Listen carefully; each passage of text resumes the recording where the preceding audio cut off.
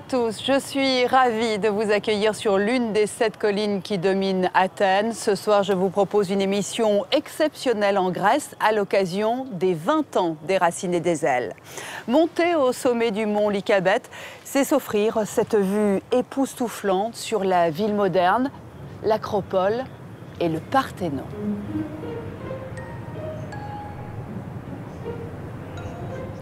Il y a 30 ans, l'acropole a été classée au patrimoine mondial de l'UNESCO, mais bien avant ce classement, dès les années 70, l'UNESCO a mobilisé la communauté internationale pour sauver cet héritage légué par la Grèce antique.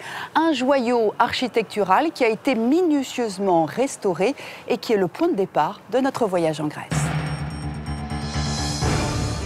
À Athènes, au sommet de l'acropole, un chantier titanesque est en cours. Au pied du Parthénon, architectes et tailleurs de pierre restaurent à l'identique les grandes colonnes de marbre. Je pense que la qualité est vraiment magnifique, presque identique à celle de l'Antiquité. Ici se dressait la colossale statue en or et ivoire de la déesse Athéna que nous avons restituée en images de synthèse. Ces autres images inédites, réalisées spécialement à l'occasion de notre émission, permettent de visualiser l'acropole, parée de ses couleurs telles qu'elles apparaissaient aux Grecs de l'Antiquité. Nous irons à Thessalonique, la capitale historique de la Grèce du Nord. Située au bord de la mer Égée, l'endroit est riche de nombreux monuments byzantins disséminés dans la ville. Cette rotonde est vite devenue une église. Ensuite, c'est devenu aussi une mosquée, puisqu'on voit encore le minaret. Et la rotonde est redevenue une église. Plus à l'ouest, dans les météores, le père Benedictus nous accueillera dans son extraordinaire monastère perché au sommet d'un piton rocheux. Varlam est l'un des six monastères encore habités dans les météores. Cela fait 23 ans que je suis ici, à Varlam. Je suis venu à l'âge de 18 ans. Et mon arrivée ici, je m'en souviens comme si c'était hier. Puis direction le mont Olympe qui culmine à 3000 mètres d'altitude. À son sommet, ce géologue étudie les phénomènes météorologiques, en particulier la foudre, autrefois attribuée aux colères de Zeus. C'est très excitant de pouvoir en quelque sorte donner une explication au mythe. Cap enfin sur les îles et d'abord les Cyclades. À Paros, l'architecte Angélique Evripiotis nous ouvrira les portes de maisons exceptionnelles. Ici, les matériaux traditionnels sont associés à un design très contemporain. À proximité, Syros, une autre île des Cyclades, se distingue par son architecture néoclassique, unique dans l'archipel. C'est une surprise parce qu'on voit tout à fait quelque chose d'autre. On voit des maisons avec l'influence italienne, française et très, très, très décorées. Enfin, nous irons à Chios, proche de la Turquie. Roulaboura y perpétue une tradition millénaire, la culture du mastic. Vous ne trouverez nulle part ailleurs ce mastic, parce que nous sommes les seuls au monde à le travailler de la sorte, depuis des générations. Cette résine a fait la richesse de l'île, comme en témoignent ses façades recouvertes de motifs, qui font la fierté de ses habitants. Je vous retrouve maintenant au pied du Parthénon, à 300 mètres à peine du rocher sacré. Le musée de l'Acropole est devenu une étape incontournable depuis son ouverture en 2009. C'est un bâtiment de verre, de béton et de marbre construit sur pilotis. Sous mes pieds se trouvent les vestiges de la cité antique et médiévale. C'est une très belle introduction en richesse qui se trouve à l'intérieur et notre coup de cœur se situe au troisième étage.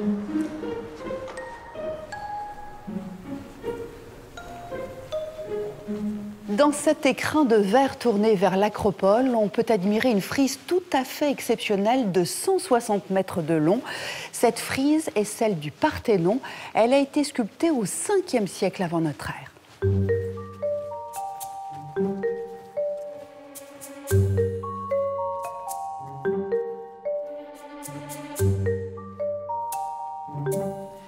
Ces panneaux en partie reconstitués représentent la procession des grandes Panathénées. C'était une fête très importante dans l'Antiquité. Elle avait lieu tous les quatre ans en l'honneur d'Athéna, la protectrice des Athéniens. Et si je me trouve ici, c'est pour partager avec vous les dernières découvertes des archéologues.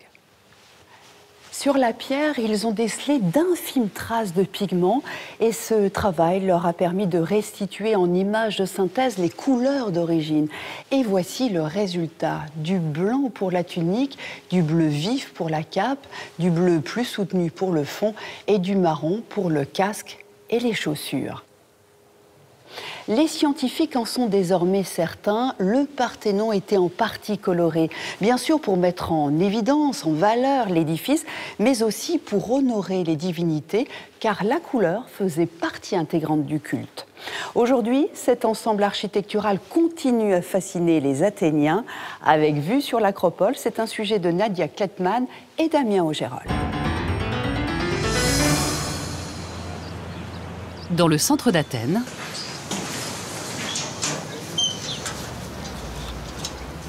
Alexandros commence sa journée. Depuis la terrasse de son immeuble, ce jeune architecte jouit d'une des plus belles vues sur l'acropole.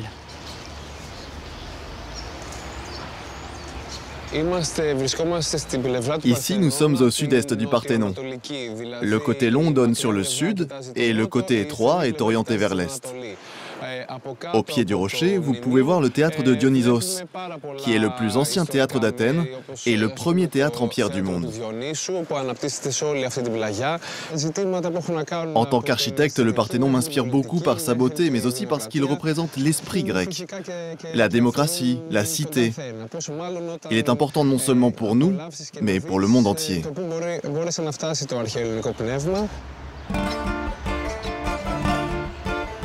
De l'autre côté du rocher de l'Acropole, se trouve l'un des quartiers préférés d'Alexandros, Anafiotika, un quartier intime, étonnant dans une si grande ville.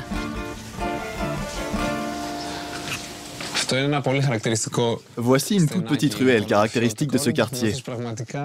On se rend compte qu'il y a très peu de distance entre les maisons.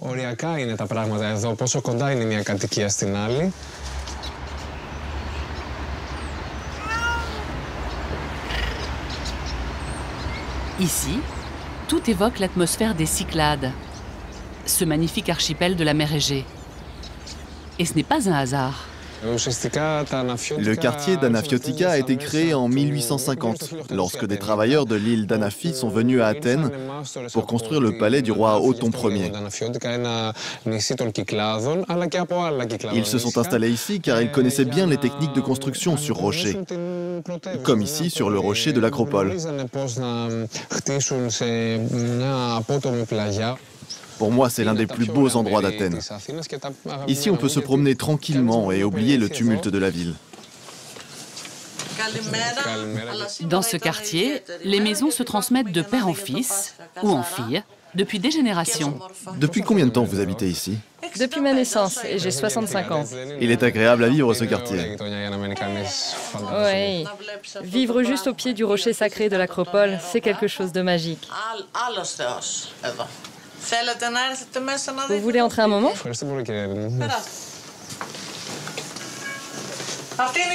Voilà, ici c'est la cuisine, petite mais très pratique. Et là, c'est le séjour.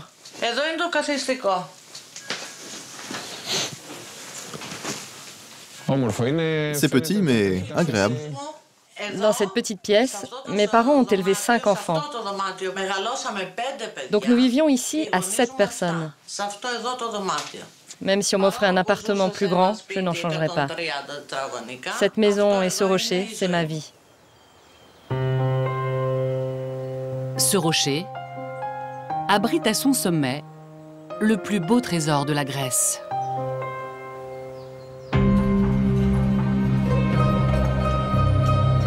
Le Parthénon, le temple d'Athéna.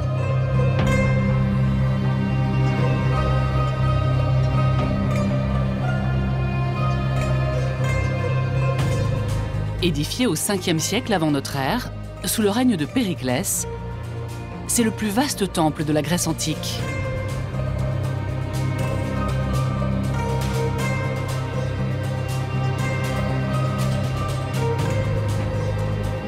Construit entièrement en marbre,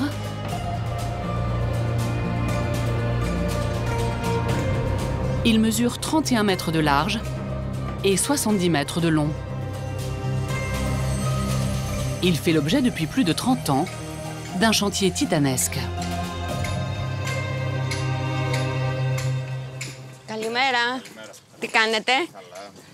Rosalia Christodoulopoulou en est l'architecte en chef. Elle emprunte chaque matin ce chemin qui mène au Parthénon. Je monte ici tous les jours. Et c'est vraiment un grand plaisir pour moi, parce que j'ai la sensation de mettre mes pas dans ceux des Grecs anciens. Une fois passée cette première porte, Athènes se dévoile. Acropole veut dire ville haute en grec.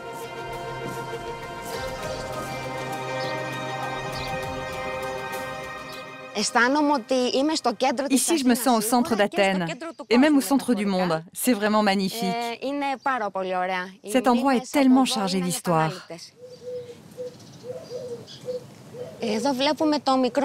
Quand on arrive ici, le premier monument qui nous accueille, c'est le petit temple d'Athéna Niké. C'est un chef-d'œuvre d'ordre ionique. Il a été détruit trois fois et nous l'avons restauré. Avant d'atteindre le Parthénon et son chantier, Rosalia doit franchir cette porte d'entrée monumentale.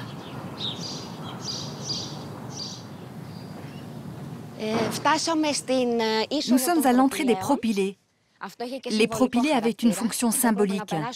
Le but était d'impressionner les fidèles dès leur arrivée.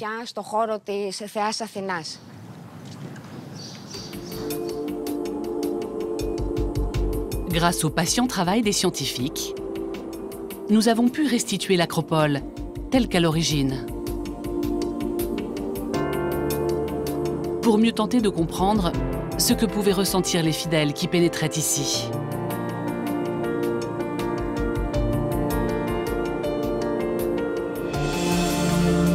Après avoir traversé les propylées, ils découvraient cette gigantesque statue en bronze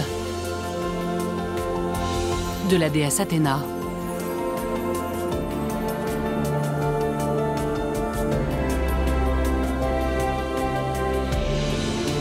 Mais ce qui les émerveillait le plus, c'était bien sûr le Parthénon. Avec ses dimensions hors normes et ses proportions parfaites, il fascine encore aujourd'hui les architectes.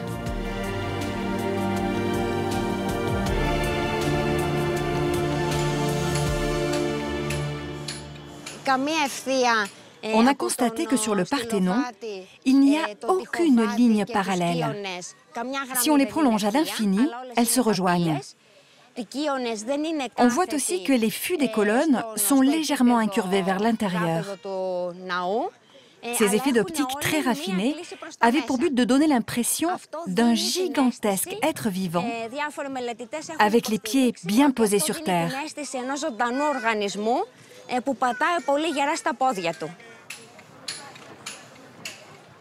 J'ai beaucoup d'admiration pour les architectes qui ont bâti ce temple et j'espère être à la hauteur. Le chantier que dirige Rosalia en ce moment porte justement sur les colonnes de ce géant de marbre. Pour les restaurer, il a fallu retrouver les techniques des bâtisseurs de l'Antiquité.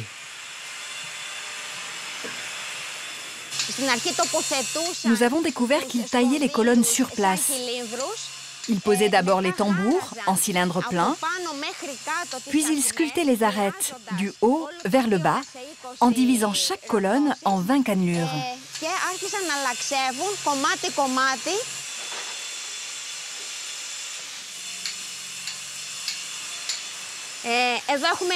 Ici, nous avons terminé la taille des cannelures.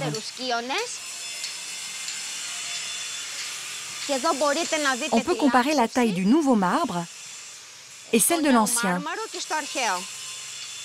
Et je pense que la qualité est vraiment magnifique, presque identique à celle de l'Antiquité. Pour l'instant, il y a une grande différence de couleur entre le nouveau marbre, qui est blanc, et le marbre ancien, qui est orangé. Mais d'ici 20 ans, il va se patiner et cette différence se verra beaucoup moins.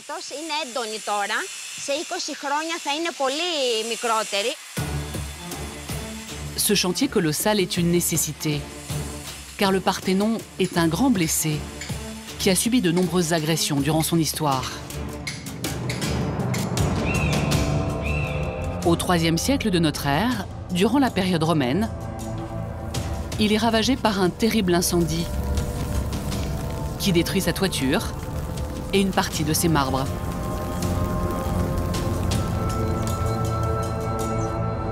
Deux siècles plus tard, lorsque le christianisme s'impose en Grèce, les Byzantins transforment le temple en église.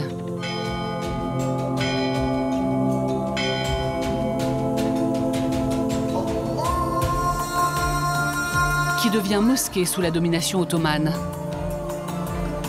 Les Turcs transforment aussi le sanctuaire en place forte et installent un dépôt de poudre qui lui sera fatal. En 1687, lors du siège d'Athènes par les Vénitiens, l'acropole est bombardée, causant des dommages encore visibles aujourd'hui.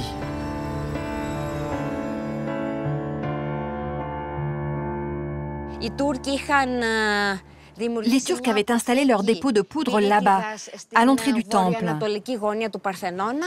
Et le Vénitien Morosini avait placé ses canons juste en face, sur la colline de Philopapou.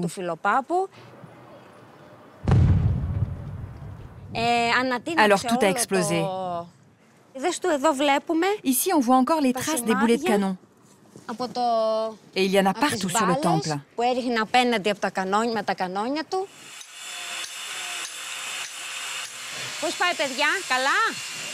Ce jour-là, Rosalia supervise une opération particulièrement délicate.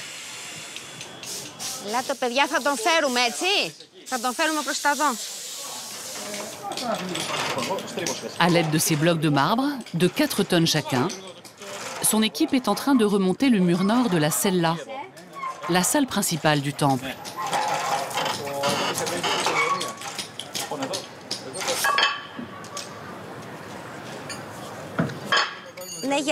Avant de poser le bloc, nous devons mettre des charges pour l'équilibrer, afin qu'il descende bien verticalement. Sinon, il y a un risque que le marbre se brise.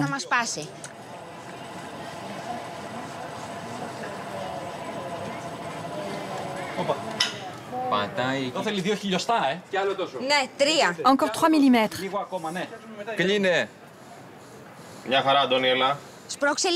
Pousse un peu plus fort, Giorgio. Ça y est, c'est bon. Nous avons réussi. C'est bien aligné? Oui. Vous êtes contente, Rosalia? Oui, très. Le fait de travailler sur une œuvre d'une si grande valeur historique, c'est une grande joie pour nous. Notre travail restera dans le futur, et peut-être que dans 100 ou 200 ans, on dira « ce sont eux qui ont reconstruit le Parthénon ». Et ça, c'est très important pour nous. Grâce à ces murs de marbre, les architectes vont restituer l'espace de cette celle-là.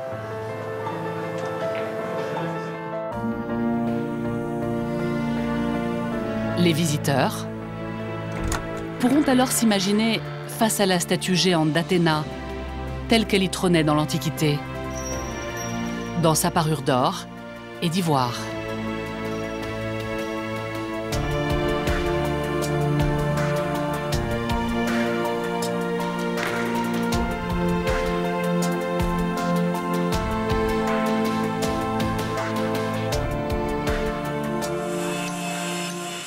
À l'autre bout du chantier, une enquête archéologique est en cours.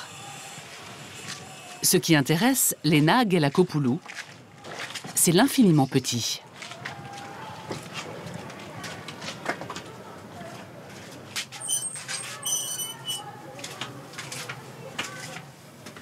Cette chimiste travaille actuellement dans les vestiges de l'ancien minaret.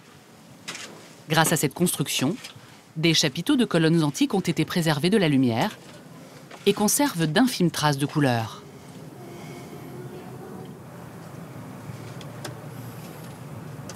Difficile d'y voir grand-chose à l'œil nu, mais le microscope de l'ENA révèle très vite toute une palette de teintes.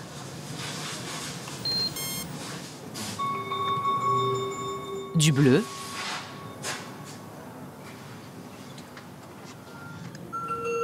du vert,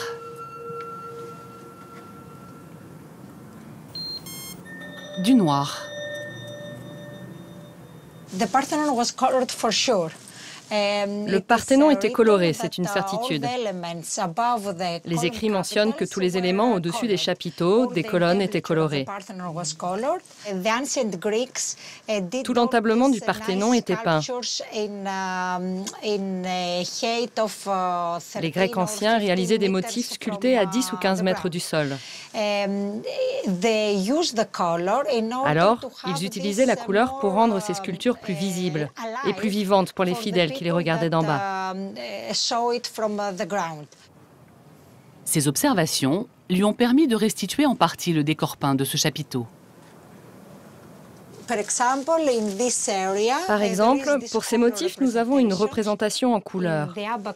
Cette partie en haut n'était pas colorée. Ils utilisaient du rouge et du bleu pour peindre les moulages doriques.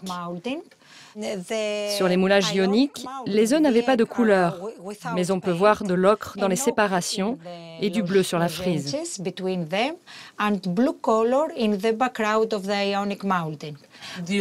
Vous n'allez quand même pas repeindre le Parthénon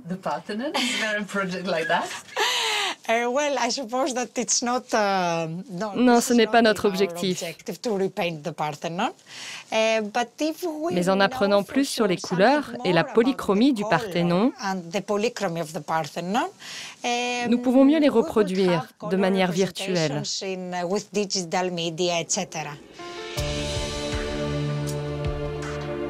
Grâce à des travaux comme ceux de l'ENA,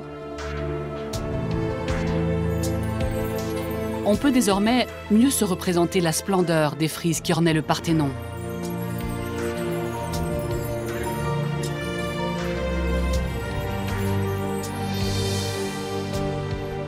De la couleur, il y en avait sur tous les temples de l'acropole, comme l'Erecteion, avec ses célèbres cariatides, ces femmes qui tiennent lieu de colonnes. Ainsi colorée, c'est toute la puissance spirituelle de l'acropole qui s'exprime à nouveau.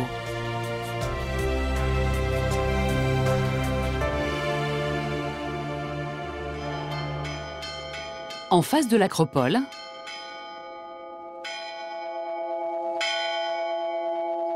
sur la colline Philopapou, le père Anastasios officie dans la petite église Saint-Dimitri Bombardier, fondée au IXe siècle.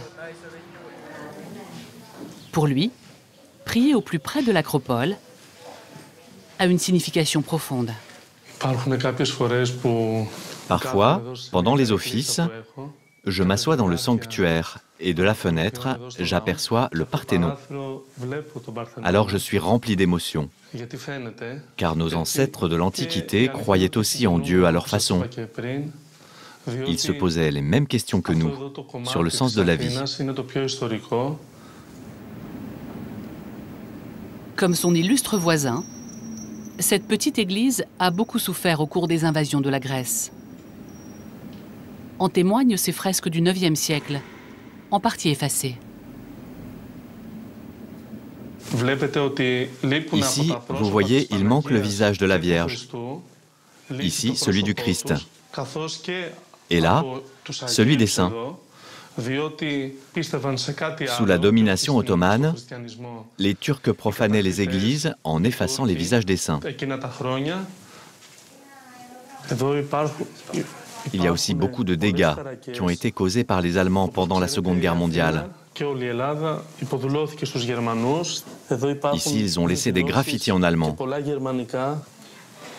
Ce lieu concentre toute l'histoire de la Grèce, avant comme après Jésus-Christ. La proximité du Parthénon a aussi fortement influencé les bâtisseurs de cette église. Le Parthénon est juste derrière, à 200 mètres environ.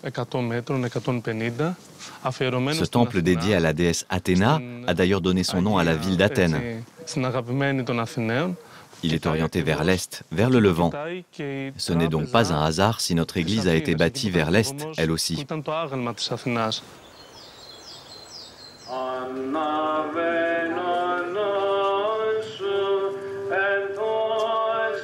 À la nuit tombée, une grande fête se prépare à Saint-Dimitri. En ce jeudi saint qui précède la Pâque orthodoxe, les femmes fleurissent l'épitaphe, un coffre en bois qui symbolise le tombeau du Christ. Pourquoi est-ce qu'il n'y a que des femmes? Ce sont les femmes qui, qui pleurent euh, près du, du tombeau. C'est ça. Que signifie cette fête pour vous? C'est la résurrection du Christ. Sans résurrection, il n'y a pas de Christ. Et nous, nous avons foi en lui.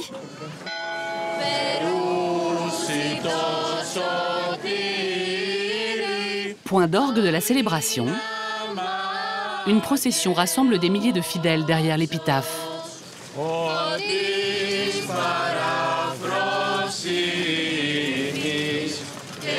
Ce soir, les chants de la Pâque orthodoxe résonnent jusqu'à l'acropole. «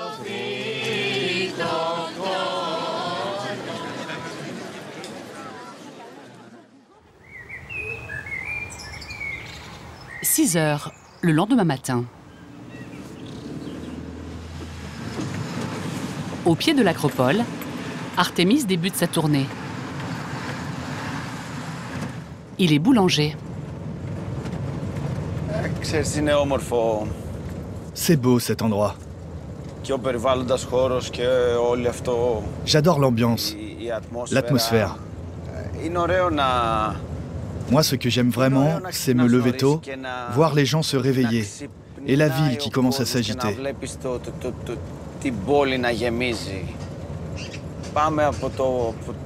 L'acropole sort de la nuit et passe à la lumière.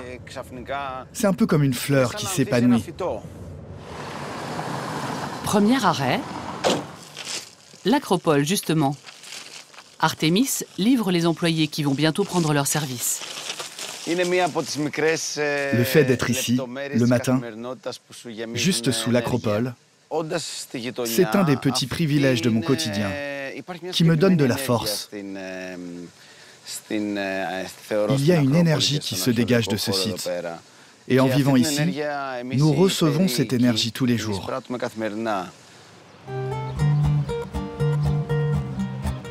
La tournée se poursuit. Direction le centre-ville d'Athènes. Où son pain est toujours très attendu. Les Grecs mangent beaucoup de pain Comme vous pouvez le voir, oui. C'est une chance pour vous. La petite entreprise d'Artémis ne connaît pas vraiment la crise. Du pain, du vin et de l'huile. Autrefois, on disait que c'était les premières fondations d'une maison.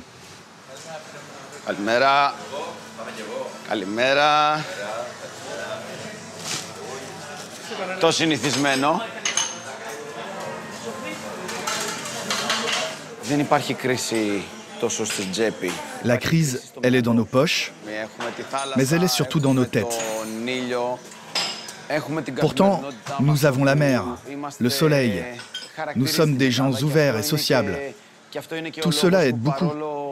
En Grèce, la beauté est partout.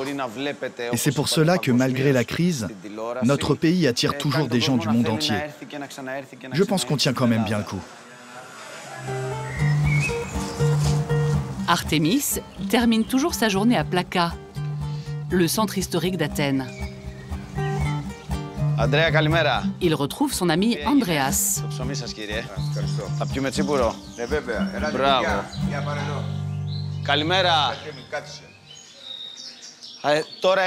Enfin, le meilleur moment de la journée. Je peux enlever mon tablier, m'asseoir et me détendre.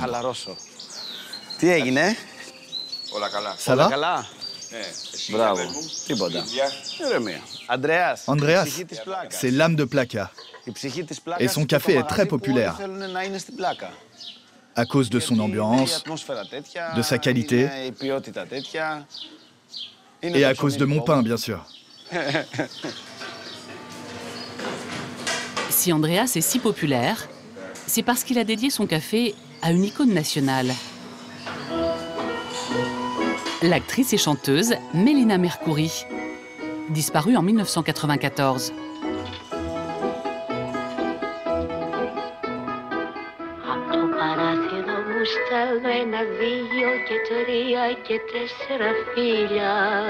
Sa chanson, Les enfants du Pirée, a fait le tour du monde.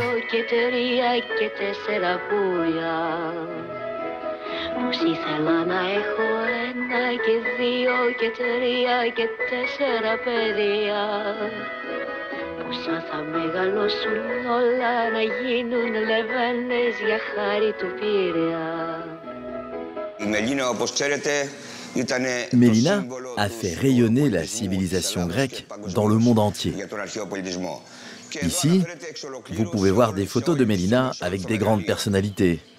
Là-bas, elle est avec Salvador Dali. Plus bas, avec Indira Gandhi. Et ici, avec notre grand Onassis.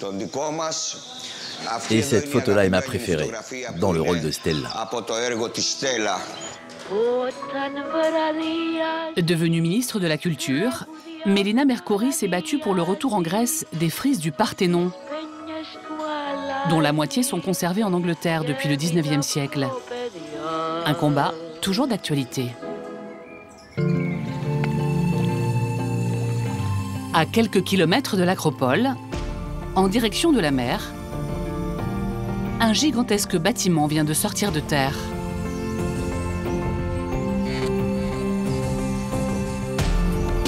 On le surnomme le nouveau Parthénon. C'est la fondation Stavros Niarchos, cadeau à la ville d'un riche armateur grec aujourd'hui disparu. Un temple, mais du savoir, qui abrite la nouvelle bibliothèque nationale et le nouvel opéra.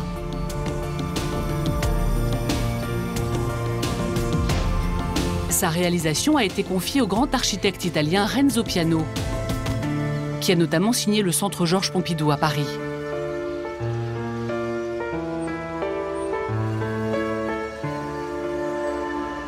Depuis cette passerelle de verre, à 36 mètres du sol, le point de vue sur l'acropole est unique. Ici, c'est un des plus hauts points dans lesquels on arrive à voir l'acropole.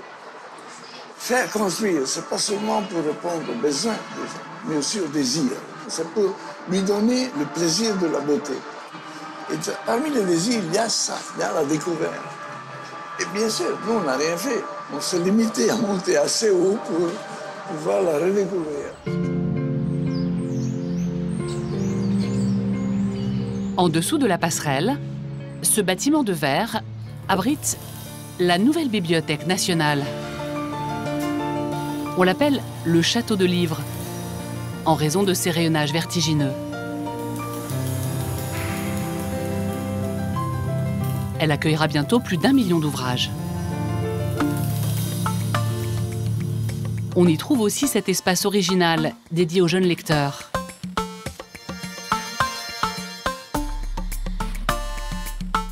Avec ses drôles de fauteuils, surnommés les nids.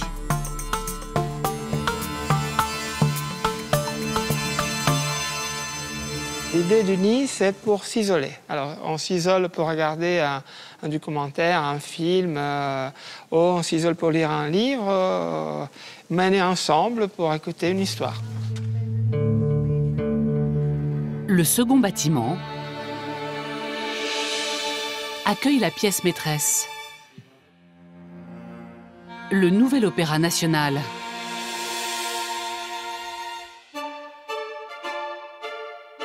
Le défi ici était d'offrir aux 1400 spectateurs une intimité avec les œuvres. L'opéra, comme vous savez, c'est aussi voir le spectacle.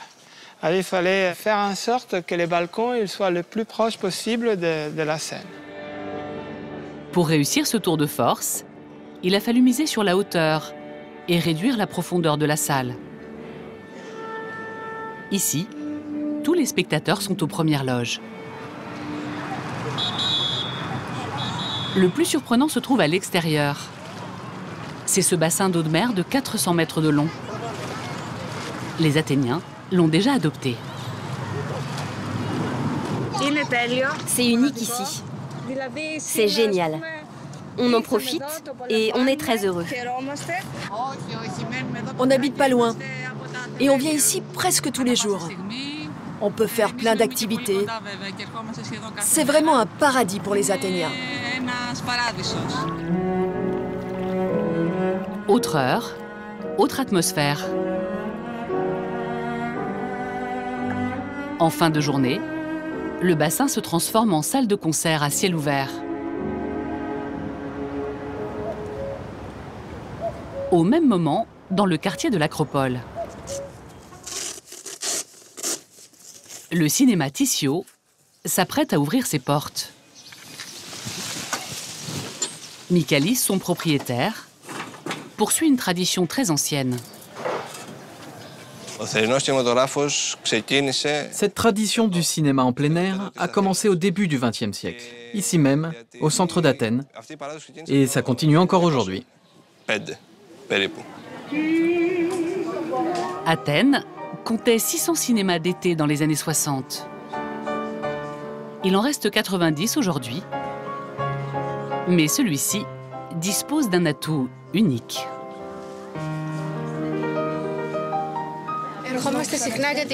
Nous venons souvent ici parce que c'est juste à côté de l'acropole. Et pour nous, c'est l'un des plus beaux cinémas du monde. L'ambiance est magique. Ce soir, le cinéma fait salle comble. On projette Le Grand Bleu de Luc Besson, qui a été tourné en partie sur l'île grecque d'Amorgos.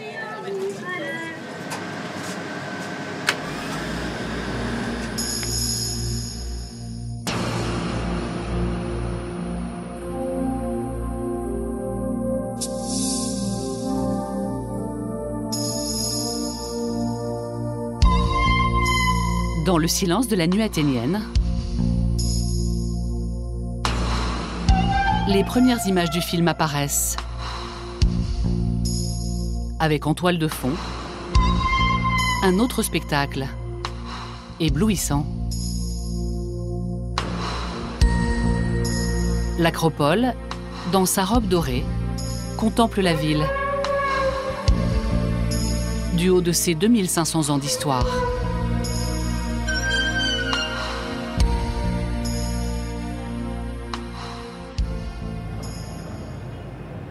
Nous sommes toujours à Athènes et j'aimerais maintenant vous faire découvrir un lieu peu connu mais qui fait la fierté des Athéniens. Loin du bruit de la ville qui se trouve derrière moi, ce chemin bordé de pins grimpe jusqu'au sommet d'une des sept collines d'Athènes. On l'appelle la colline des nymphes. C'était un lieu sacré durant l'Antiquité. Les Athéniens venaient ici pour honorer les nymphes, des divinités liées à la nature.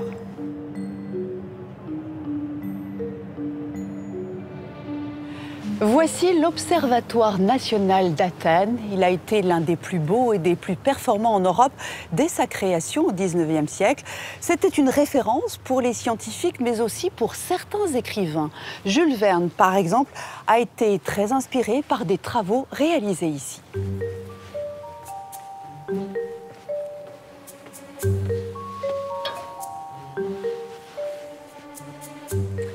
Regardez cette lunette astronomique en 1874. Elle a permis de cartographier la surface de la Lune avec tous ses cratères.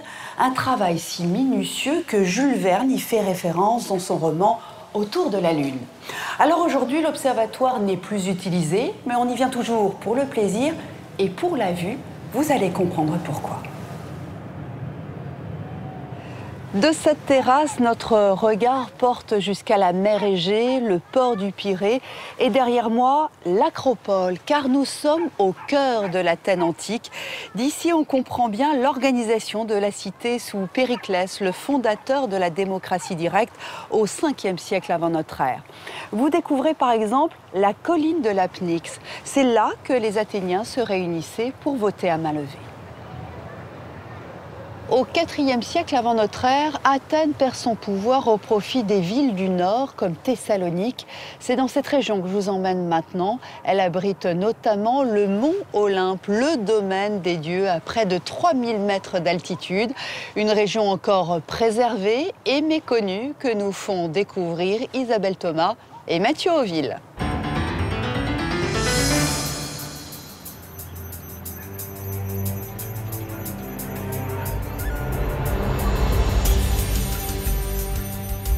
Thessalonique, la capitale de la Macédoine. Deuxième ville et deuxième port du pays. Ces fortifications témoignent encore de l'importance de la ville.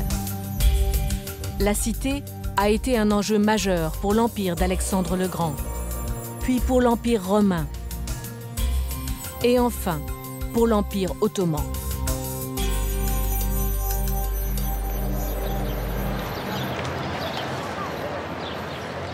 Thessalonique compte aujourd'hui un million d'habitants. Elle n'a jamais cessé de grandir. La place Aristote est la plus grande de la ville et c'est un architecte français qui l'a dessinée. C'est une place euh, qui a été conçue par euh, Ernest Hébrard, qui était l'architecte qui a reconstruit, euh, qui a reconçu sur tous les plans de la nouvelle Thessalonique après le grand incendie de 1917. Et Hébrard avait conçu un plan de ville moderne, un peu à la façon du baron Haussmann à Paris, avec des perspectives euh, qui ouvraient la ville. Et donc, euh, le cœur de son dispositif, c'était la place Aristotélus, euh, qui part de la mer et qui remonte vers l'agora romaine. Et ensuite, c'est la ville haute. Thessalonique s'est reconstruite sur ses cendres. L'incendie de 1917 change le visage de la ville. En 32 heures, un tiers de Thessalonique part en fumée. 9500 bâtiments sont détruits, plus de 70 000 personnes sans abri. C'est le cœur de la ville qui est touché. La nouvelle Thessalonique est aujourd'hui une ville moderne. Après l'incendie, de larges avenues sécurisent les quartiers et mettent aussi les monuments en valeur, comme ici, la basilique Sainte-Sophie, ou l'arc de Galère, qui célèbre la victoire de cet empereur sur les Perses. Des monuments qui surgissent au cœur de la ville moderne. Ici, la ville a toujours été extrêmement dense, densément peuplée. Et ça a été toujours une capitale euh, administrative au moins, culturelle, commerciale. Et les habitants de Thessalonique ne se sont pas embarrassés de tous les vestiges archéologiques euh, qui parsemaient la ville. Ils ont intégré ça euh, dans leurs maisons, dans leurs rues, etc. Ils ont construit autour, ils en ont détruit quelques-uns. Et voilà, donc ça n'a jamais été sacralisé, ça fait partie du quotidien. Au bout de la perspective, la rotonde, reconnue patrimoine mondial par l'UNESCO, en 1988. Cette rotonde, qui a été construite pour être un mausolée ou un temple, on ne sait pas trop, est vite devenue une église. Ensuite, c'est devenu aussi une mosquée, puisqu'on voit encore le minaret. Et la rotonde est redevenue une église quand les Grecs ont reconquis la ville de Thessalonique avant la Première Guerre mondiale. La rotonde devient église au IVe siècle. L'empereur Constantin la part de mosaïques d'or. Elles viennent tout juste d'être restaurées.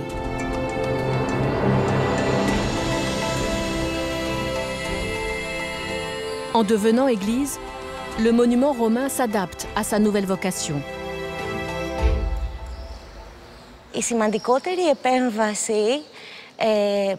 La plus importante intervention, étant donné que le monument est circulaire, était de réaliser un axe est-ouest. L'addition d'un chœur certifie la conversion du monument en église chrétienne.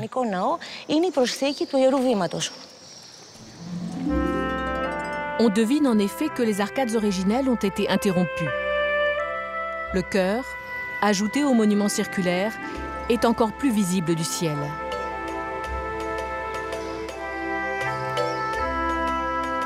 Sous la coupole, l'or se fait lumière et les personnages apparaissent. Sous la voûte, nous pouvons voir quatre figures ailées, des archanges, des victoires et entre eux un oiseau, le phénix. Au centre, les archéologues pensent que Constantin s'était fait représenter en Messie. Les Ottomans l'ont effacé. Pour circuler à Thessalonique, rien ne vaut le deux roues, ou trois à la rigueur.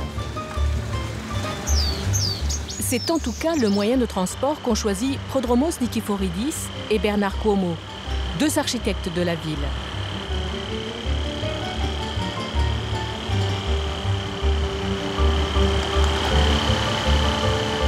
Ils nous emmènent sur le front de mer qu'ils ont transformé. Juste après la Tour Blanche, c'est aujourd'hui la plus belle promenade de Thessalonique.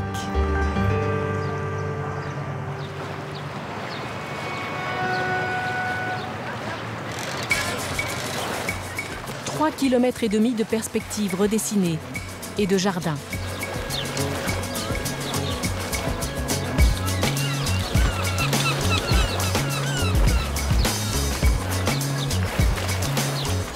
Un lieu pour les rencontres, le sport ou le répit, au ras des flots. Le niveau de l'eau est quand même très proche du niveau de la terre. Ce qui fait que souvent on a l'impression qu'en fait d'une continuité visuelle. On change de matériau, on passe de, de, la terre à un élément liquide, mais en fait on a cette espèce d'élan quoi. Et euh, ça c'est assez intéressant et assez caractéristique de la ville.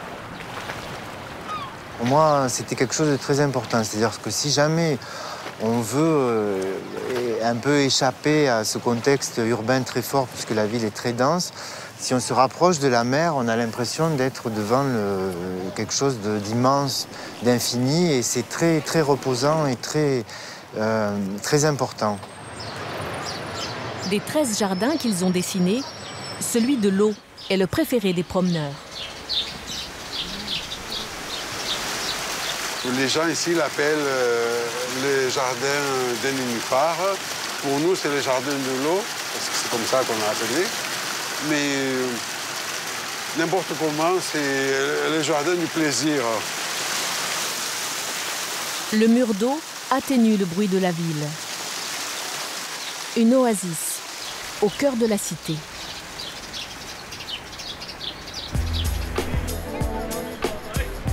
Le soir, c'est encore sur la promenade que Thessalonique se retrouve pour un spectacle toujours changeant et féerique.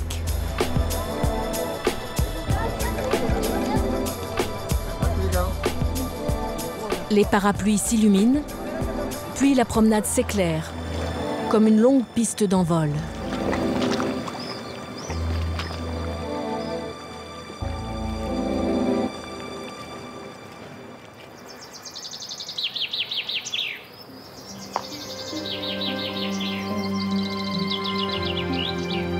Le jour se lève sur un des sites les plus exceptionnels de Grèce. Les météores sont des sentinelles de pierre au cœur du pays. Des roches sculptées par l'érosion. À leur sommet, les monastères ont été jusqu'à 24. Six vivent encore aujourd'hui, suspendus au ciel.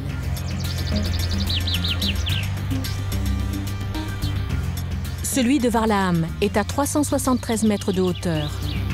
Il accueille aujourd'hui 10 moines, dont deux novices. Le père Benedictus est le père supérieur de Varlaam. Cela fait 23 ans que je suis ici à Varlaam. Je suis venu à l'âge de 18 ans.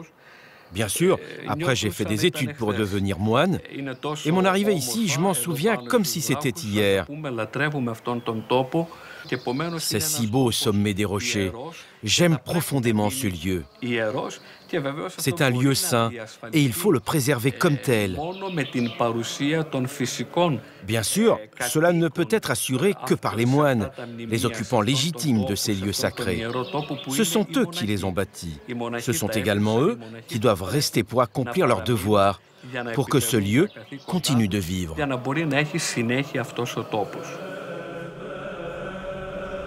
Le trésor de Varlaam est son catholicone, l'église principale du monastère.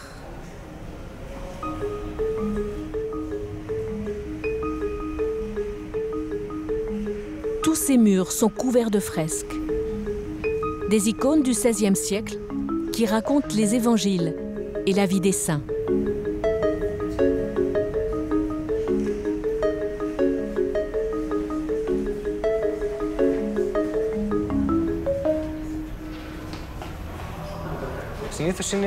Normalement, ces fresques ne sont pas aussi sombres.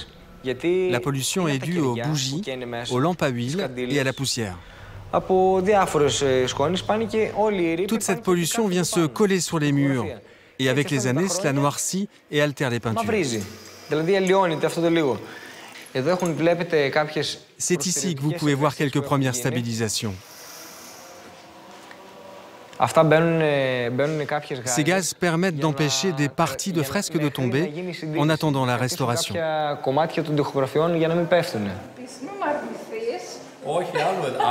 Le père Benedictus est toujours prêt à renseigner les visiteurs, car chaque icône a une histoire. Au mur de la partie occidentale est représenté Sisoès le Grand. C'est la scène où il s'arrête sur la tombe d'Alexandre le Grand dans le désert d'Égypte. Il se met alors à philosopher sur la mort et la vanité de ce monde, car il voit que les restes de celui qui fut jadis le maître du monde sont exactement les mêmes que les restes de tout homme, à savoir ses seuls os.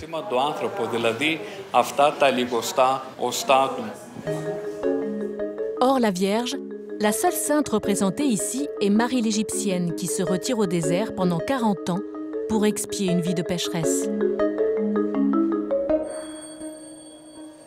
Et juste à côté, on voit Saint Pacôme, auquel un ange apparaît, et il lui montre l'apparence qu'un moine doit avoir. Saint Pacôme cherchait quelle serait la meilleure tenue pour être plus proche de Dieu, retranché du monde. C'est là que l'ange est apparu en lui montrant sa propre robe. Depuis, les moines portent cette tenue.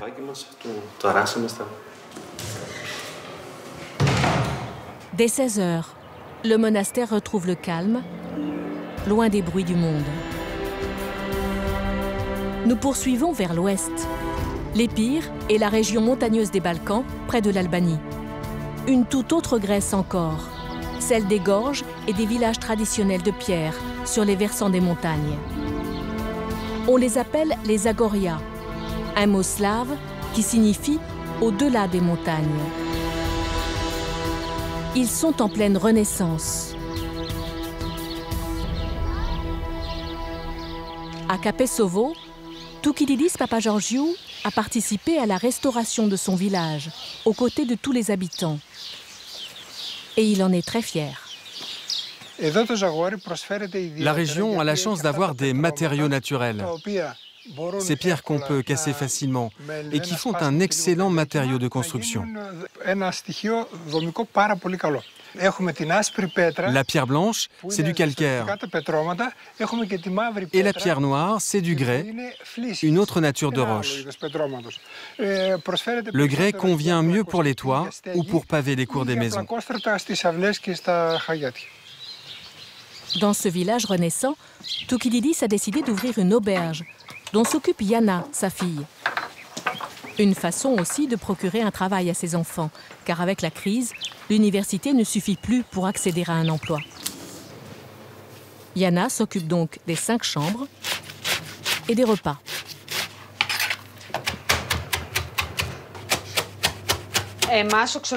Notre auberge est ouverte depuis dix ans maintenant. Il a fallu trois ans pour se faire connaître. Au moment où nous avons commencé à être connus, les premiers signes de la crise se sont fait sentir. Ce qui est bien, ce sont les randonneurs étrangers qui viennent. Et pour dire la vérité, ce sont eux qui nous font vivre. La cuisine de Yana commence ici, dans le jardin de son père. Même les fleurs s'invitent à la table. Ces roses, nous les utilisons pour faire de la confiture. On utilise aussi leur distillation, l'eau de rose. On met de l'eau de rose dans les bonbons, dans les gâteaux de Pâques. On en fait aussi des savons et des produits cosmétiques pour le visage que nous vendons dans notre petite boutique. Malheureusement, peu de gens choisissent de revenir dans les villages pour y développer des activités, une solution qui pourrait résoudre les problèmes économiques. L'économie du tourisme est modeste, mais elle résiste à la crise. Car on vient dans ces montagnes pour découvrir autour des villages une nature à couper le souffle. Au creux de ces vallées, les ponts ottomans occupent une place à part. Leur architecture de pierre sèche est spectaculaire.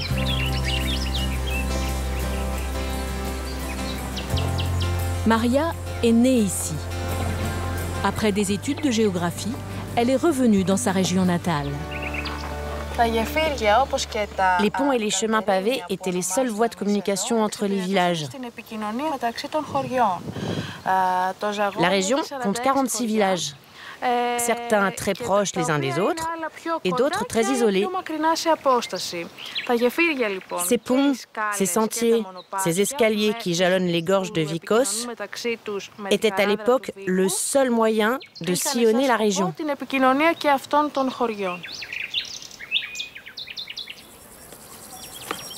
Maria nous conduit sur un sentier escarpé qui débouche soudain sur les gorges les plus impressionnantes de Grèce.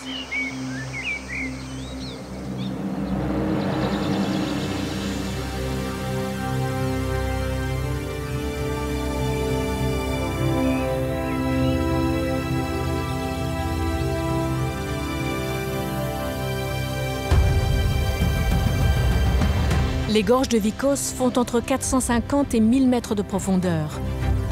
Rapportées à leur largeur, elles forment le plus grand canyon du monde. Un patrimoine géologique vertigineux. Les gorges de Vikos sont le lieu idéal pour l'étude scientifique de la nature, car elles abritent un grand nombre d'espèces rares, pas seulement des animaux, mais aussi des plantes. La protection et l'étude de ces gorges par des spécialistes sont primordiales. L'UNESCO a classé le site en 2015. Le patrimoine de l'humanité prend ici tout son sens. Les gorges de Vikos sont nées des mouvements tectoniques des plaques il y a des millions d'années. Et les premiers signes de la présence humaine ne datent que de 30 000 à 40 000 ans avant Jésus-Christ.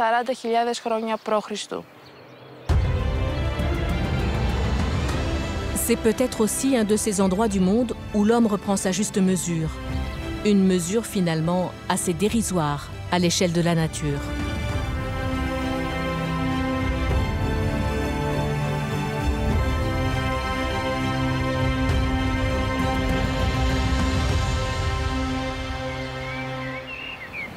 Dernière étape de notre découverte, le plus haut sommet de Grèce.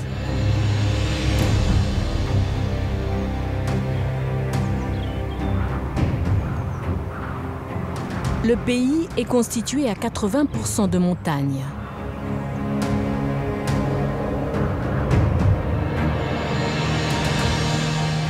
Le mont Olympe culmine à 2917 mètres. Des montagnes encore sauvages, et mythique. Derrière les nuages, les Grecs anciens ont imaginé ici la résidence des dieux. Car les dieux vivent à l'abri du regard des hommes. Le premier d'entre eux y a installé son trône. Le trône de Zeus est le plus majestueux de ses sommets. Zeus a même gravé son visage sur sa montagne.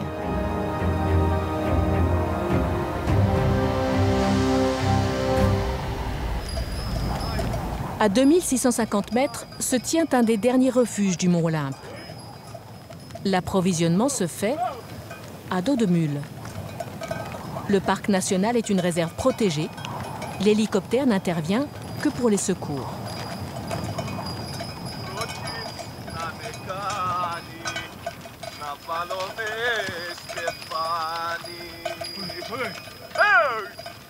L'été, Théodoros monte plusieurs fois par semaine au refuge. Et ça lui prend la journée.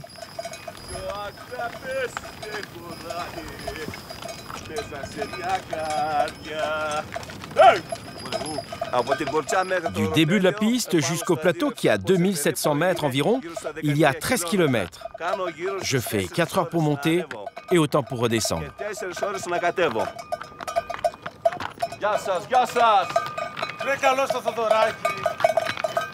Michaelis, dit Mike, et son frère Alexandros, les gardiens du refuge, attendent toujours Théodoros avec impatience. Allez, on décharge. Mike est aussi géologue et la montagne est son terrain de recherche.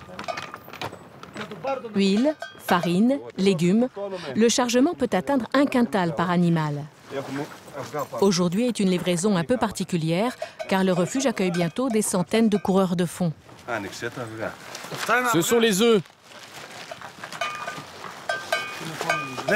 C'est bon, il n'y a pas de casse. Le plus important, c'est l'eau.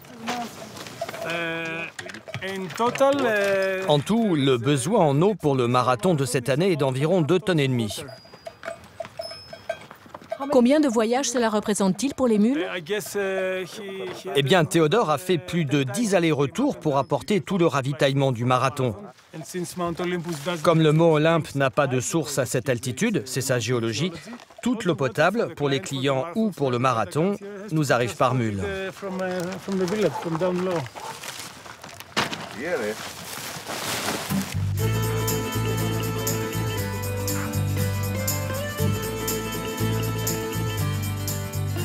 Le refuge peut héberger jusqu'à 17 randonneurs.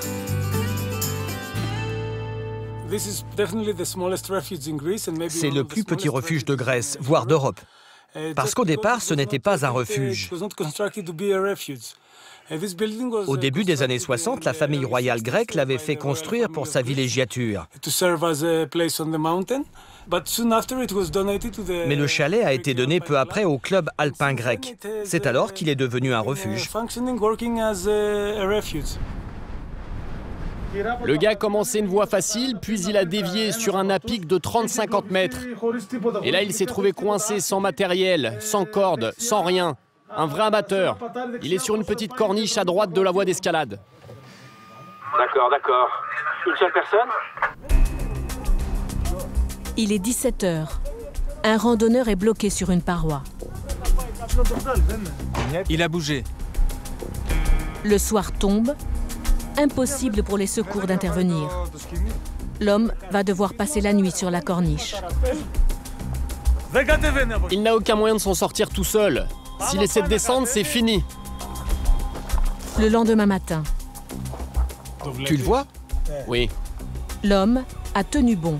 Il est toujours assis là. L'imprudent grimpeur est même en short. Un non-sens à cette altitude. Ça fait 15 heures qu'il est là-haut. Il a de la chance qu'il fasse beau, sinon ça aurait été bien plus difficile pour lui. Les sauveteurs mettront encore plusieurs heures pour rejoindre, puis faire descendre le randonneur. On a des incidents comme ça tous les ans. Des gens coincés en position difficile et des morts. Chaque année, il y a des accidents fatals au mont Olympe. On ne plaisante pas avec la nature, ni avec les dieux qui ont créé cette nature.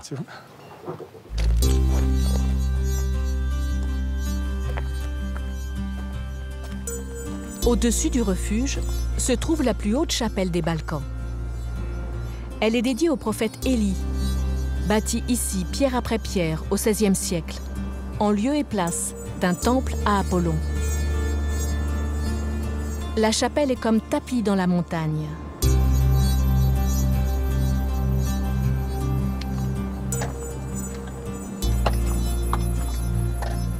À l'intérieur, des icônes sont accrochées. Saint-Denis, le fondateur de la chapelle, et Saint-Élie. C'est le prophète Élie. C'est le protecteur des montagnards en Grèce. Vous le verrez toujours devant des montagnes avec un oiseau. Beaucoup de gens lui rendent hommage comme aux temps anciens. Donc je pense qu'en 3000 ans, peu de choses ont changé. Le besoin qu'ont les gens de s'élever pour atteindre le divin reste le même.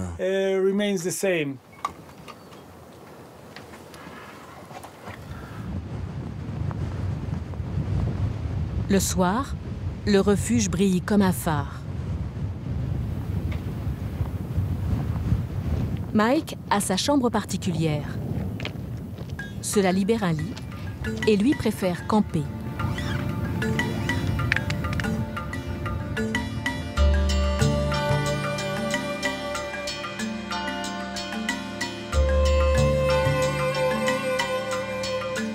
Une chambre à l'aplomb du ravin.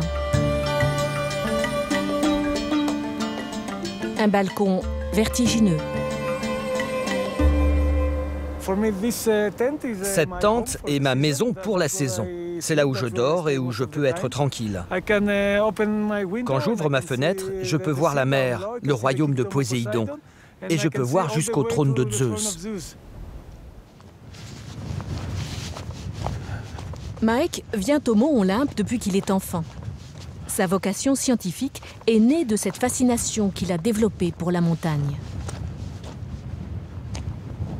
Je me suis installé sur le plateau des Muses pour plusieurs raisons. Pour l'amour de l'escalade et de la montagne d'abord. Mais en tant que géologue, après quelques années ici, je me suis rendu compte que je vivais dans un paradis scientifique. Des chercheurs viennent ici du monde entier pour leur travail. Et moi, j'ai tout ça dans mon jardin. Mike est chercheur. Il étudie les paléoclimats, les climats anciens. Il y a 3000 ans, Homère parlait du mont Olympe comme d'une montagne scintillante. Les scientifiques soupçonnent l'existence d'un ancien glacier. Mike en cherche aujourd'hui des preuves. Le glacier est comme un bulldozer. Quand il bouge, c'est une rivière de glace qui emporte les roches et les sédiments.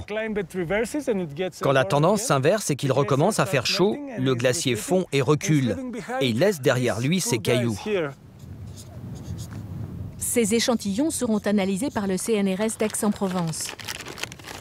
Ils devraient révéler quand la pierre a vu le soleil pour la première fois et donc quand le glacier a commencé à reculer la science permet à Mike de faire une nouvelle lecture de la mythologie. La foudre, par exemple, n'a plus rien à voir avec la colère de Zeus, lançant ses éclairs sur les pauvres mortels. Les mesures scientifiques nous disent que le mont Olympe reçoit 2000 impacts de foudre chaque année, parce que c'est une montagne côtière qui émerge de la mer. La topographie et le climat en font un véritable aimant à foudre. On ne savait rien de tout ça à l'époque. C'est très excitant de pouvoir en quelque sorte donner une explication au mythe. Pourtant, l'Olympe reste mythique.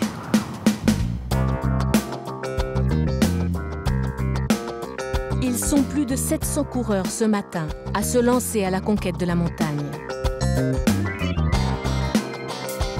Ce marathon est une des courses les plus folles, le dernier dimanche de juin. 44 km, 2700 mètres de dénivelé, départ et arrivée au niveau de la mer.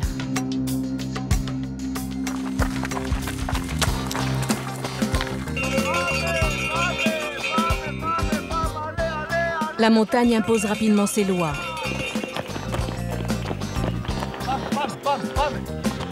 Il fait près de 40 degrés. Dans l'Antiquité, les Grecs empruntaient ce chemin sacré pour aller honorer Zeus. Aujourd'hui encore, les dieux sont sur la route.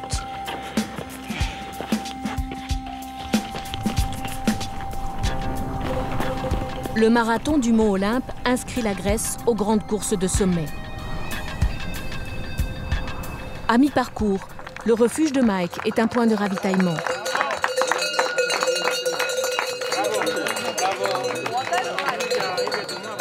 Vous êtes d'où? Pays Basque.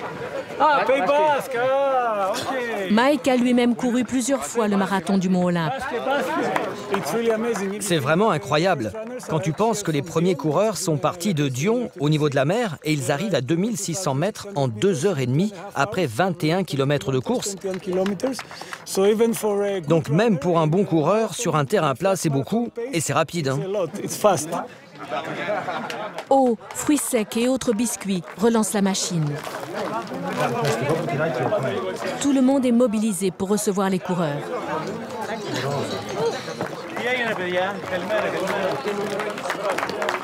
Certains s'arrêtent à peine.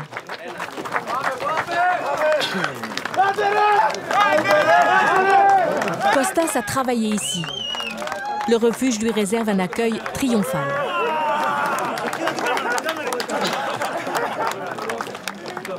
Tu es fatigué Oui, je suis un peu fatigué, mais je vais faire de mon mieux.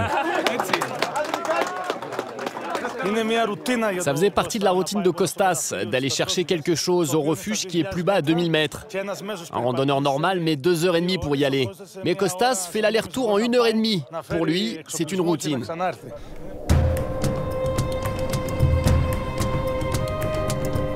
Alors que les derniers coureurs sont encore sur la crête, le calme est revenu au refuge. Bientôt, les sommets retrouvent leur paix.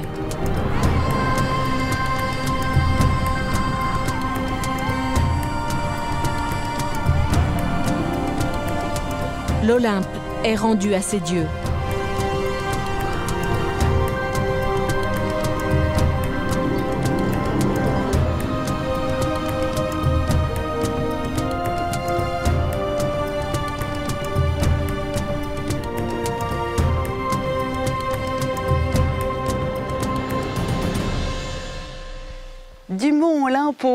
Bienvenue dans un autre lieu mythique de la Grèce antique. Nous sommes à Delphes qui fête ses 30 ans à l'UNESCO. C'était l'un des plus grands sanctuaires dédiés à Apollon. Alors à l'époque, dans l'Antiquité, les pèlerins venaient de toute la Grèce pour honorer ici leur dieu. Ils faisaient euh, des offrandes, sacrifiaient des animaux et pouvaient même euh, parfois euh, vendre symboliquement au dieu un de leurs esclaves qui gagnait ainsi sa liberté.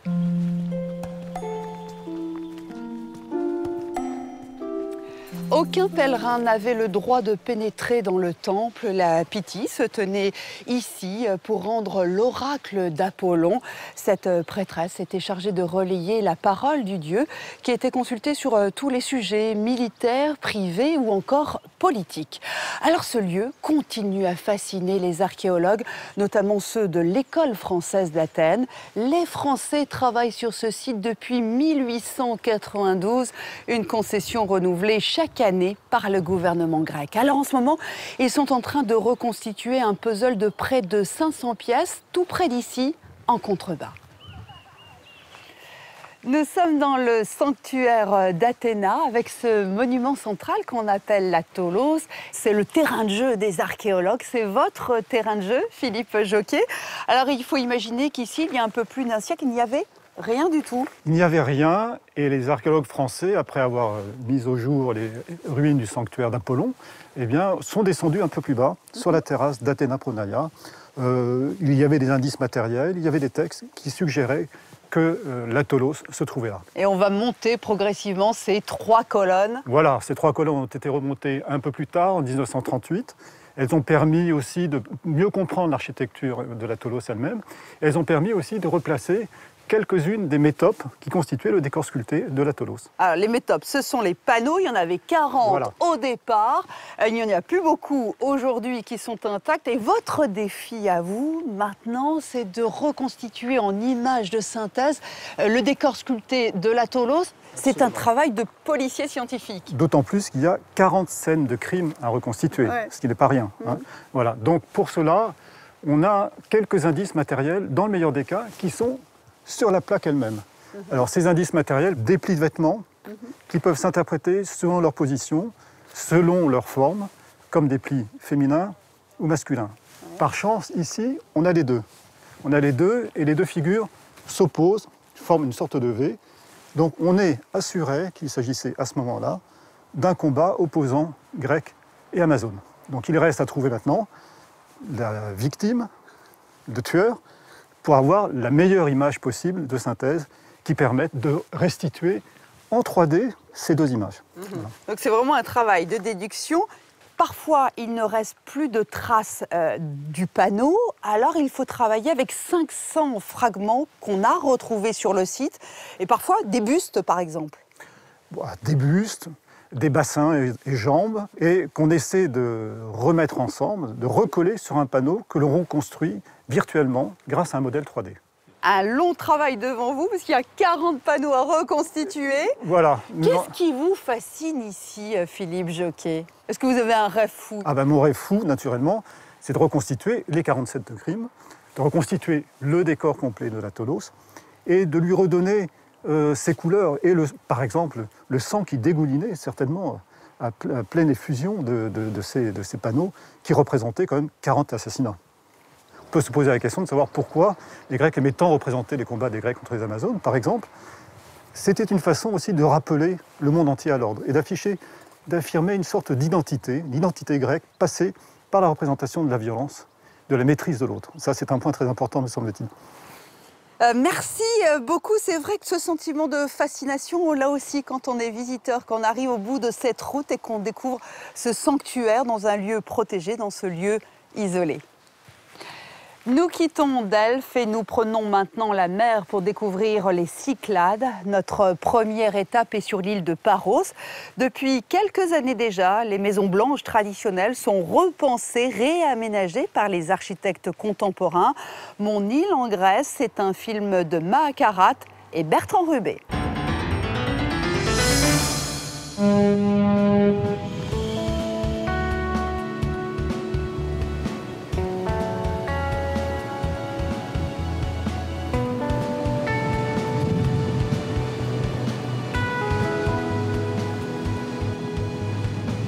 Angélique est architecte. Elle a choisi de quitter Athènes en 2012 pour s'installer sur l'île de Paros dans les Cyclades. Quand on est dans les Cyclades, on se sent un peu au centre du monde parce qu'il y a beaucoup de gens qui viennent dans les Cyclades. Prendre un bateau, c'est quelque chose de très facile, c'est pas une aventure. On part du bureau, on prend le bateau, on se rend dans une autre île. C'est comme une navette, on se déplace très facilement d'une île à l'autre. Mon choix de vivre à Paros, c'était surtout euh, la simplicité des choses et la qualité de vie. Euh, et bien sûr, le climat, le soleil et l'été dans les Cyclades, c'est quelque chose de magique.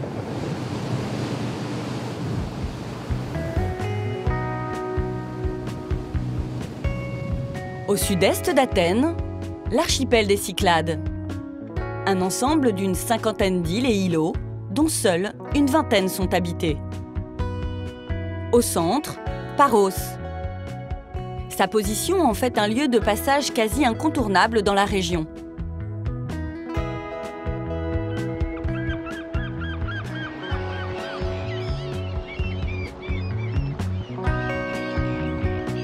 Naoussa est le principal port de pêche de Paros. Les premières maisons ont été bâties ici, en bord de mer, puis se sont étendues vers l'intérieur des terres.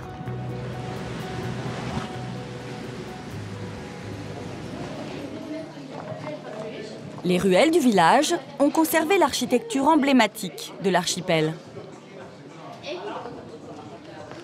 On est dans un village typique cycladique.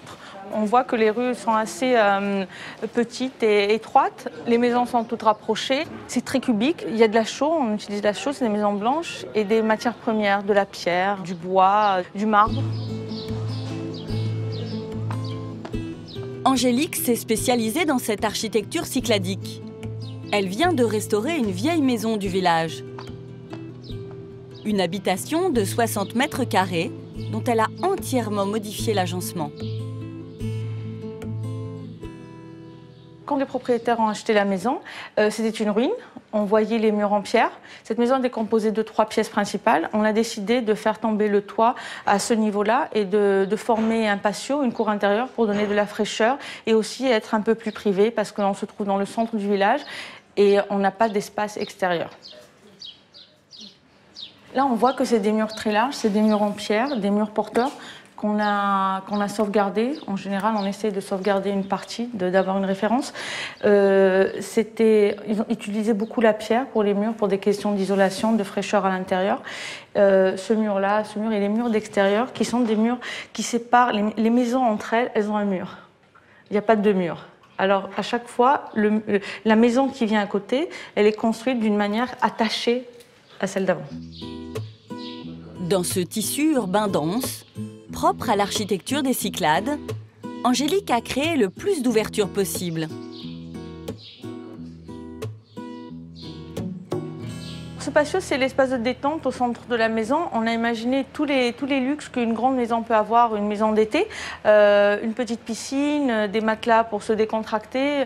On a, on a le soleil, mais on a aussi euh, euh, l'ombre. On a même imaginé un peu le son de l'eau aussi pour avoir cet esprit de fraîcheur au centre, vraiment au centre du village. Les matériaux utilisés sont un hommage à la tradition de l'île. Comme ici à la cuisine, du marbre de Paros pour le plan de travail et des canisses de roseau pour les portes de placard. Au premier étage, l'architecte a conçu un espace pour profiter pleinement du paysage. Euh, dans cette maison-là, on a décidé de rajouter un étage pour euh, ressortir vers le, vers le ciel et la mer. Et dès qu'on monte ici, on se tourne et on a une vue euh, entière vers la baie de Naoussa.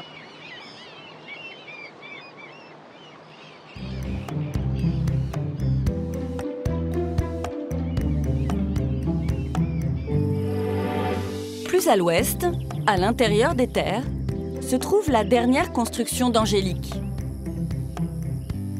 Une villa de 8 pièces à flanc de colline, entourée d'un jardin de 500 mètres carrés qui vient tout juste d'être planté.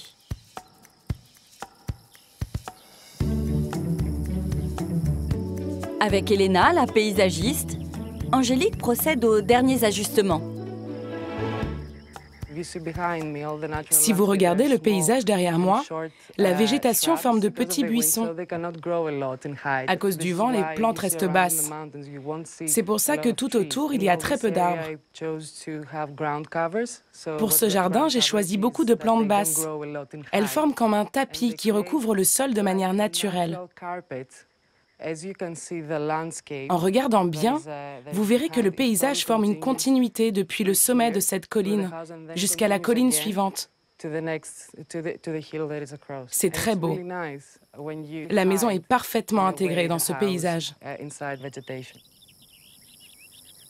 Cet arbre, c'était un coup de foudre du propriétaire. Il a choisi lui-même. C'est un arbre qui a été importé euh, du Péloponnèse. C'est un olivier euh, de Kalamata. C'est un arbre qui a entre 180 et 200 ans. Et euh, ça fait partie de l'héritage de la culture des cyclades, l'olivier, l'huile d'olive, etc.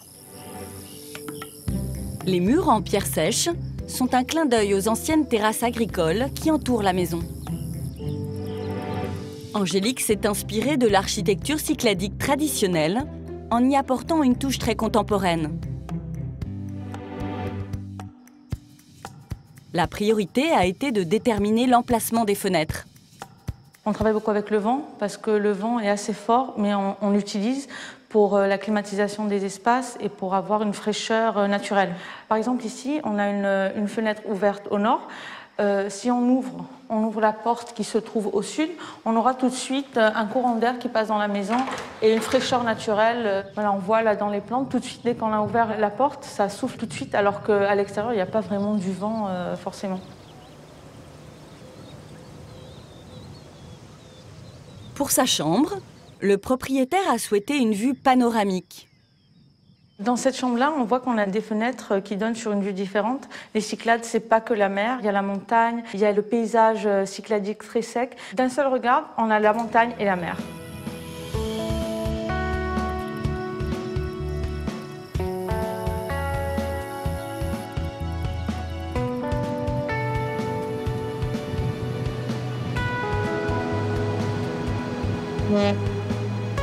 Le lendemain, Angélique quitte Paros elle se rend à Syros, une île voisine, à une heure de bateau.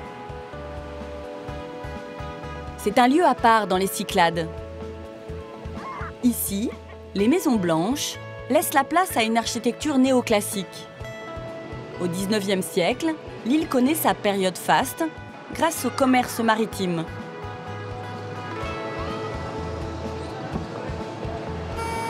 Symbole de cette opulence, les rues de la capitale Hermopolis sont pavées de marbre.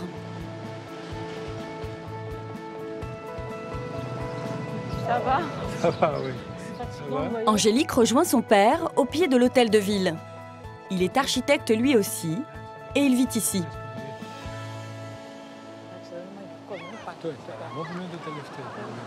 Syros, c'est une surprise en fait. On est au milieu de Cyclades, c'est la capitale de Cyclades. Et les gens ne croient pas, ils croient qu'ils viennent voir une île avec les maisons blanches, tout. Et c'est une surprise parce qu'on voit tout à fait quelque chose d'autre.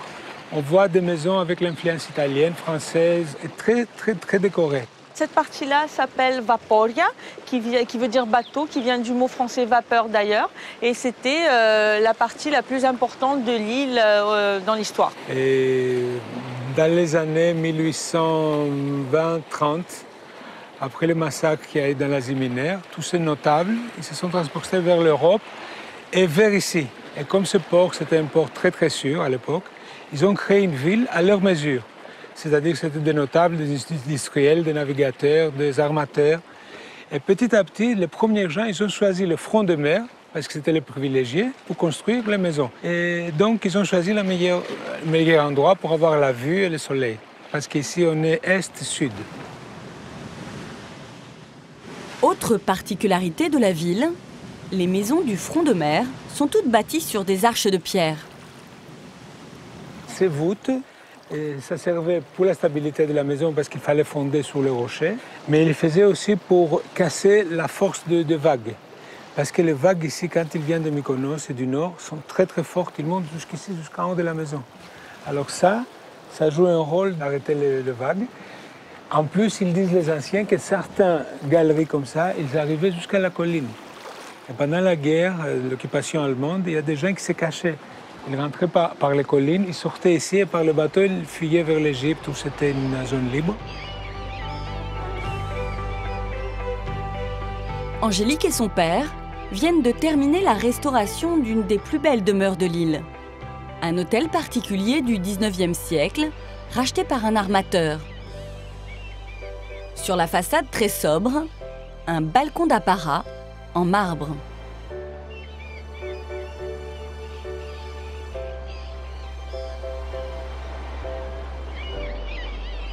Ce balcon, il est fait ici, de ce côté-là, parce qu'il est vu de, de, deux autres voisins qui étaient aussi riches que celui-là. Donc, probablement, ils ont fait ça à l'époque pour qu'il soit bien vu, cette façade, des, des autres maisons. Parce qu'il y avait une jalousie entre les propriétaires. Donc, ce balcon-là, enfin, c'était le point caractéristique de cette maison. Ce qui montrait sa noblesse et sa richesse. À l'intérieur, la maison dévoile tout son raffinement. Cette maison appartenait à une famille d'armateurs dans les années 1860. Et là, au mur, vous voyez l'hélice, la barre, l'ancre et la bouée de sauvetage. Ce sont les symboles de la marine. Nous avons souhaité les maintenir en place et nous les avons restaurés. J'en suis très fier, car moi aussi, je suis armateur. Le propriétaire a souhaité retrouver l'architecture d'origine, jusque dans les moindres détails. Il y a le luxe, mais ce n'est pas un luxe apparent qui crie. C'est un luxe simple.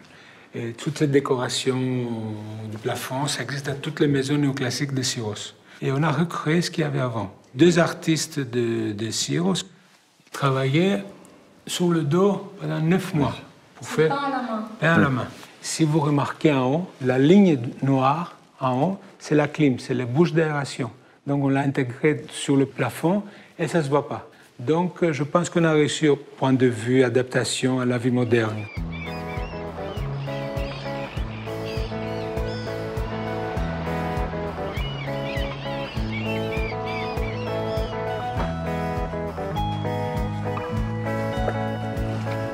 À l'autre bout de l'île, une équipe de biologistes part en mission.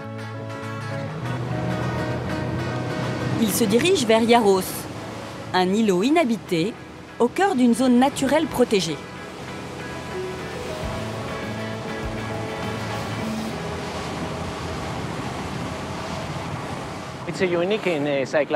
C'est quelque chose d'unique dans les Cyclades.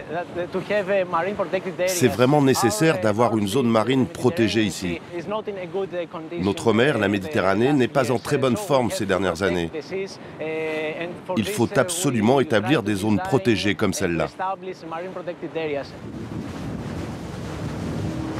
Leur journée commence par une opération de surveillance.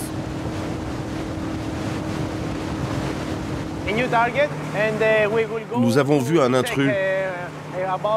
Nous allons vérifier s'il s'agit d'un visiteur ou d'un bateau de pêche. Parce que toute activité de pêche est interdite à 3000 nautiques autour de l'île. Christos, Vagelis et Elina ont repéré sur leur radar un bateau au mouillage dans la zone protégée.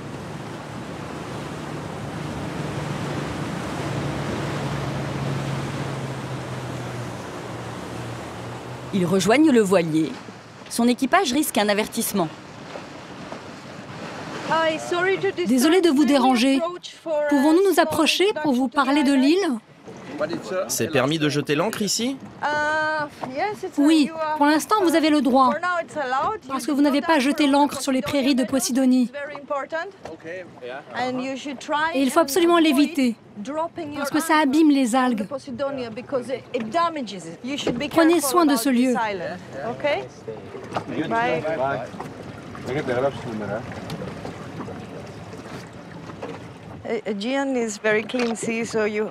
La mer Égée, notre mer intérieure, est très propre et elle est célèbre pour son bleu profond. Cette couleur est due aux algues que l'on trouve sous la mer et qui s'appellent Posidonie. Elles forment des buissons épais et sombres. La Posidonie est essentielle à la vie en Méditerranée. Elle est comme une forêt. Mais la couleur change. Vous voyez, là où l'eau est peu profonde et le sol est sablonneux ou bien rocailleux, c'est là où l'on obtient cette magnifique couleur turquoise.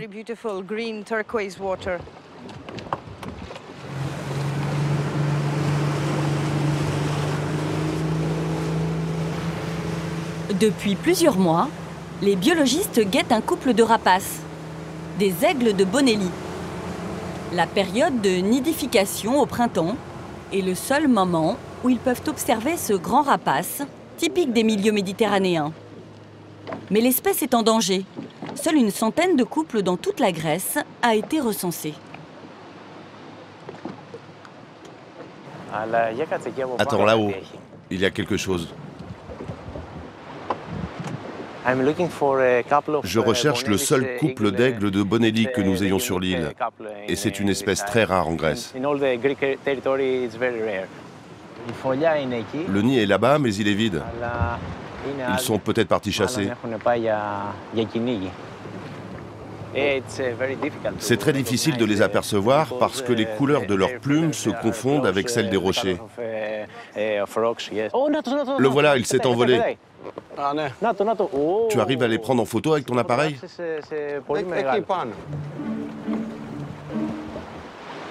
Ce sont les premiers clichés du couple d'aigles de Bonelli en vol que l'équipe a réussi à capturer.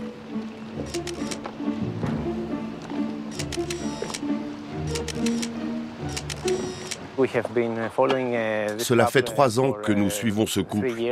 Et c'est la première fois qu'ils mettent au monde un oisillon. À l'origine, le petit était blanc avec des taches noires. Là, il devient marron et son bec est jaune. Il sera bientôt hors du nid, prêt à s'envoler.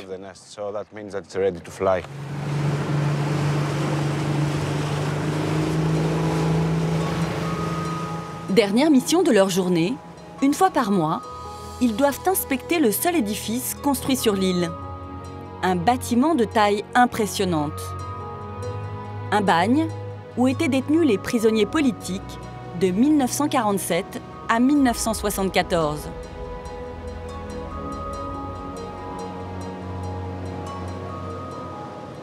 Le site, laissé à l'abandon depuis 2001, est interdit au public.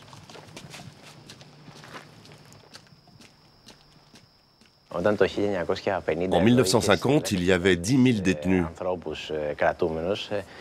Il faut imaginer que dans cet endroit très rocailleux, les prisonniers ont dû creuser à la main pendant 4 ans. Il fallait terrasser le terrain et construire ce bâtiment.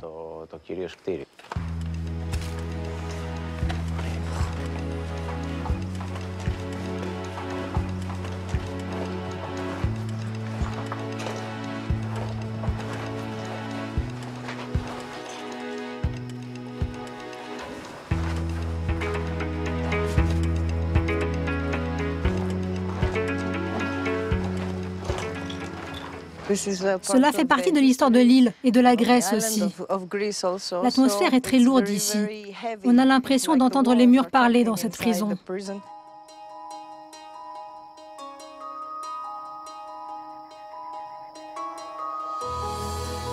Le bagne de Yaros est créé en 1947, en pleine guerre civile grecque.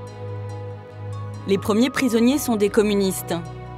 À partir de 1967, ce sont les opposants à la dictature des colonels qui sont détenus ici. Ils sont d'abord parqués sous des tentes, puis dans le bâtiment en briques construit par les bagnards.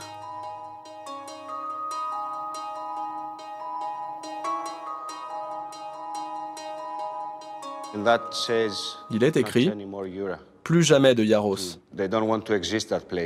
On ne veut plus d'endroits comme celui-là.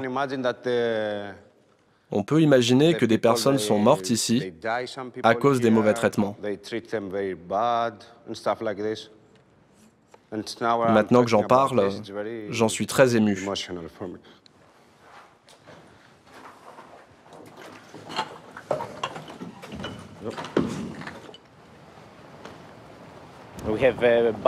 Nous avons gardé de mauvais souvenirs de la période du bagne.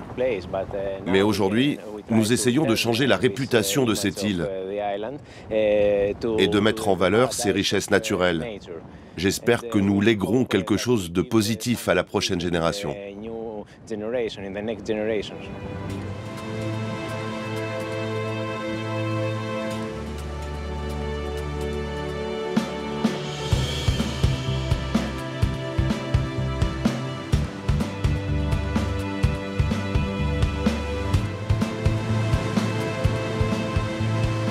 À l'est de Yaros, à une trentaine de kilomètres, voici Tinos, l'une des plus grandes îles de l'archipel.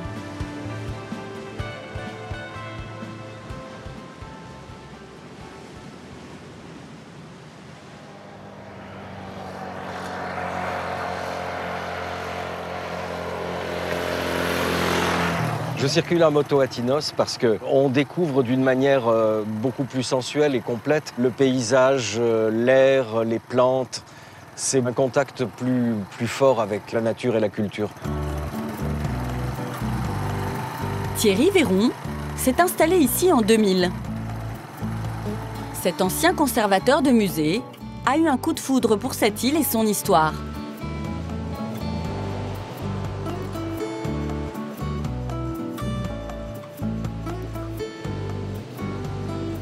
Il y a deux types de Cyclades, les îles de marins et les îles de paysans. Tinos est une île de paysans. Ici, la mer, euh, sans exagérer tout de même, elle est perçue comme une ennemie parce que traditionnellement, c'était de la mer que venaient les ennuis. D'où venaient les pirates, d'où pouvait venir une agression euh, ottomane. Donc il fallait voir venir ces problèmes et donc se situer en hauteur, dans des villages perchés, pour pouvoir préparer sa défense ou s'enfuir. Hein, c'était vital.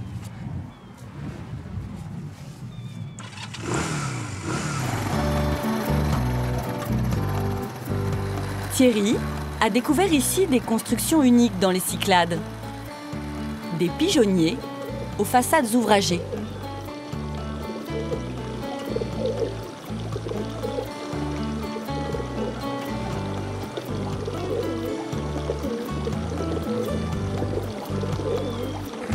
Les pigeonniers datent euh, de l'époque vénitienne et ils étaient réservés aux seuls nobles. Les pigeonniers ont donc une double fonction, une fonction symbolique, hein, c'est un signe euh, extérieur de richesse si l'on veut, euh, et une fonction naturellement agricole. Le pigeonnier, en fait, c'est la réserve d'engrais, hein, puisque on récupère la fiente des pigeons, la colombine, pour fumer les jardins. C'est un engrais de très grande qualité.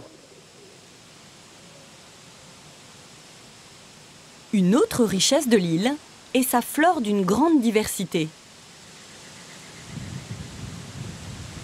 Passionné de botanique, Thierry organise des stages de fabrication d'huile essentielle. Il est le seul à exercer cette activité à Tinos.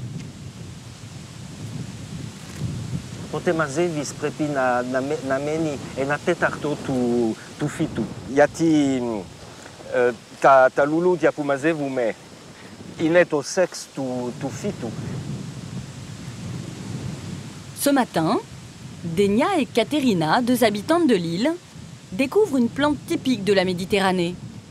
Elle se récolte une fois par an, au début du mois de juin. Cette petite fleur jaune, c'est de l'Helichrys microphyllum.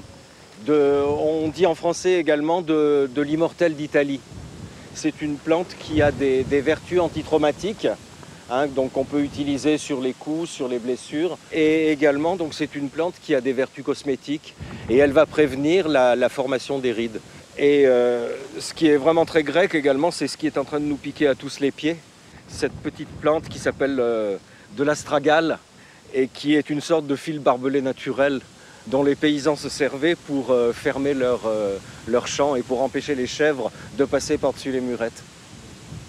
Le champ d'Hélicryse se trouve au pied du mont Cycnias. Dans la mythologie grecque, c'est le lieu de naissance d'Éole, le dieu du vent.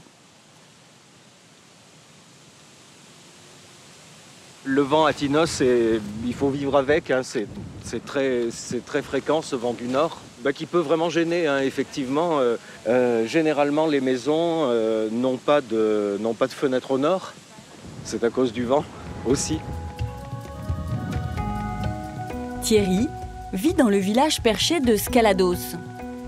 Il a acheté une ferme du XVIIIe siècle et a installé son laboratoire au rez-de-chaussée.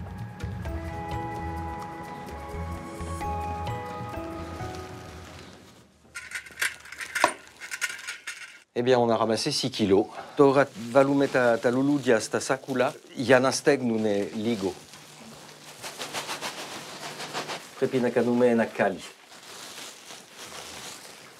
Je n'avais jamais vu 6 kilos de fleurs d'un coup.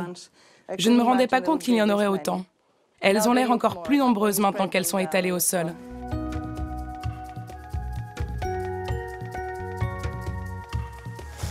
Deux heures plus tard, une fois séchées, les fleurs sont prêtes à être versées dans l'alambic.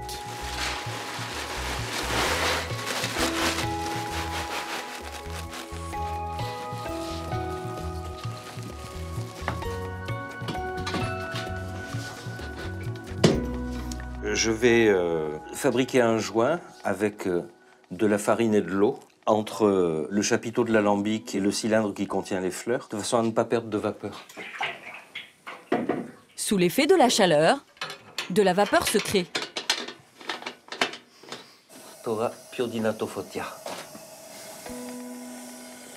Elle circule dans l'alambic et se condense quand elle arrive dans la seconde cuve de cuivre. Puis le concentré floral s'écoule dans ce récipient en verre.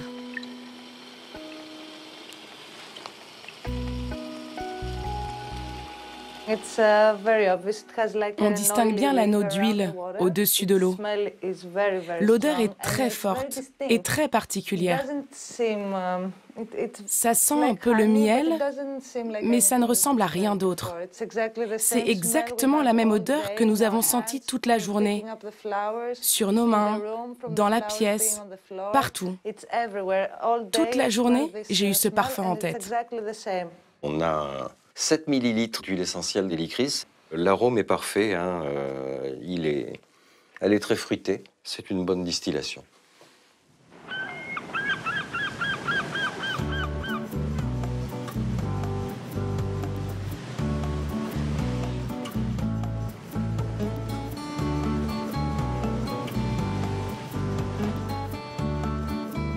Au sud de l'île, un bateau de pêche rentre au port.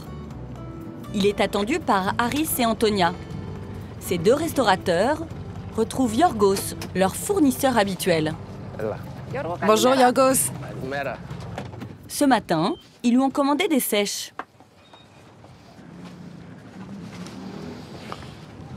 Et voilà, quatre sèches, Antonia. C'est exactement ce que je voulais. Avec ces sèches, je vais préparer du tarama à l'encre et un bon risotto.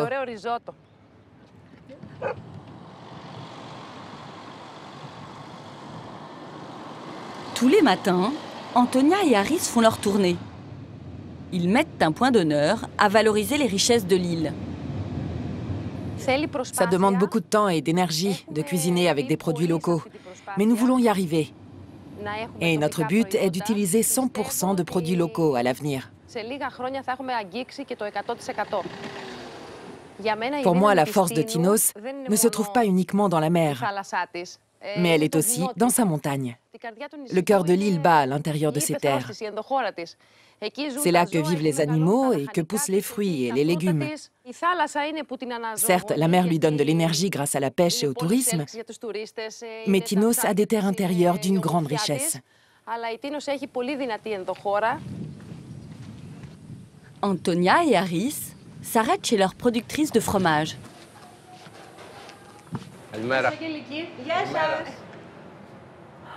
C'est du fromage de vache. Le lait provient des vaches d'Angeliki qui se trouvent un peu plus bas. C'est un fromage qui s'est affiné pendant une vingtaine de jours. Il est un peu ferme à l'extérieur, mais il est moelleux à l'intérieur. On prend cela. Comment vous les choisissez On les choisit à l'œil et au nez. On regarde sa couleur. La croûte doit être lisse. Elle ne doit pas être fendillée. Il faut vraiment que la croûte soit lisse. Et surtout, il doit sentir l'odeur du lait frais. Il sent bon.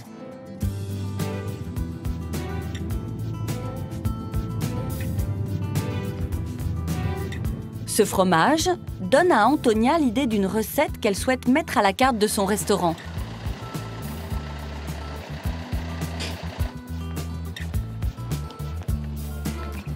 De retour en cuisine, elle commence par la préparation des sèches.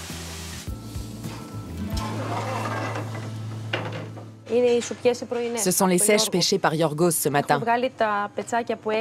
J'ai enlevé les petites peaux et les ailes. Les parties moins nobles, je les coupe finement et je les réserve pour le risotto. Et j'entaille le gros morceau.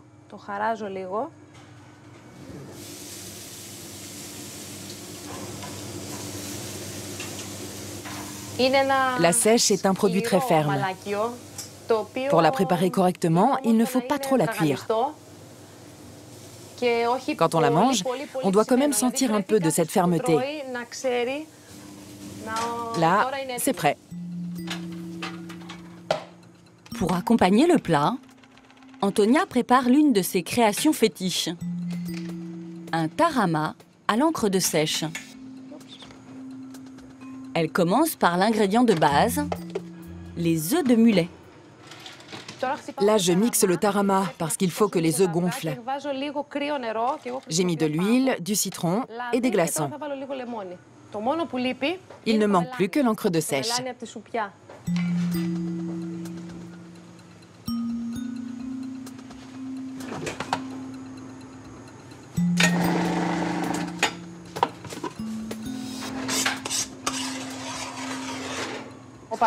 Habituellement, le tarama est plutôt blanc.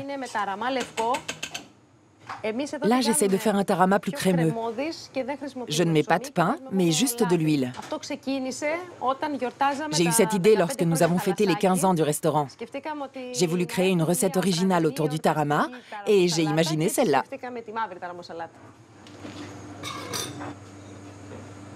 Cet autodidacte apporte un soin tout particulier à la présentation de ses plats.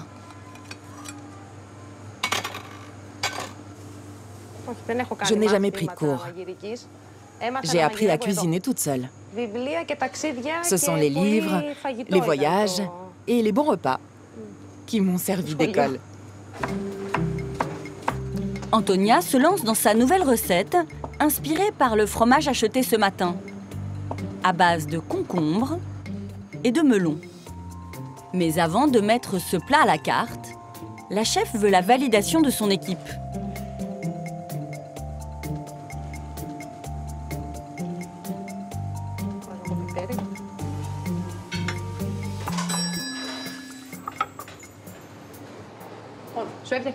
Tiens, goûte. Je t'ai fait une bouchée avec tous les ingrédients. Très bon.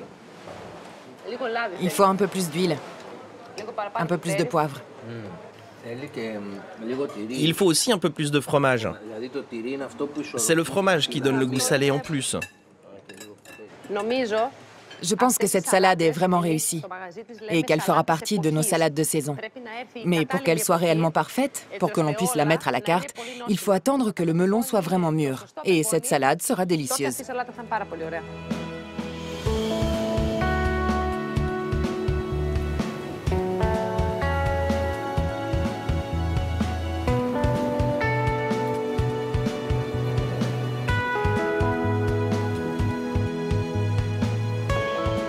Nous quittons l'archipel des Cyclades pour le nord-est de la mer Égée. Aux confins de la Grèce, l'île de Chios se trouve à 8 km des côtes turques.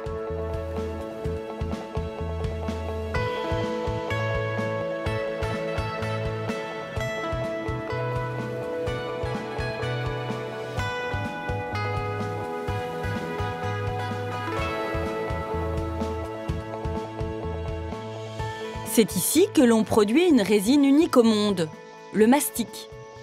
Depuis l'Antiquité, il fait la richesse de l'île.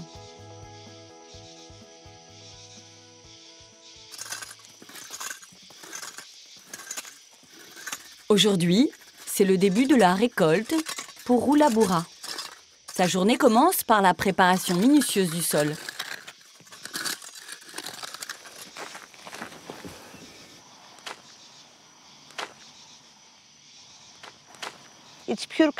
C'est du pur carbonate de calcium. C'est comme de la craie. On l'utilise pour que le mastic reste propre. Quand les gouttes de mastic tombent de l'arbre, elles sont à l'état liquide. Du coup, la craie forme une surface plane pour recueillir le mastic et ça nous évite de perdre la résine qui pourrait s'incruster dans le sol sinon. Le mastic provient d'un arbre méditerranéen qui s'appelle le lentisque pistachier.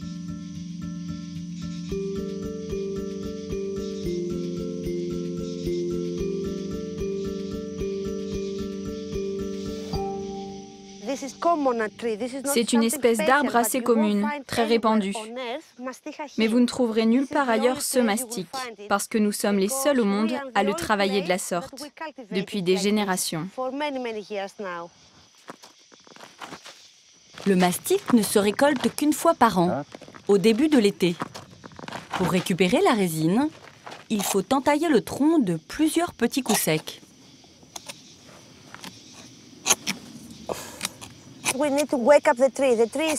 On appelle ça réveiller l'arbre. On dit que l'arbre dort pendant l'hiver. À chaque entaille, l'arbre sécrète de la résine. On commence par le bas et on remonte. Il faut de 6 à 7 semaines pour que la résine se transforme en mastic.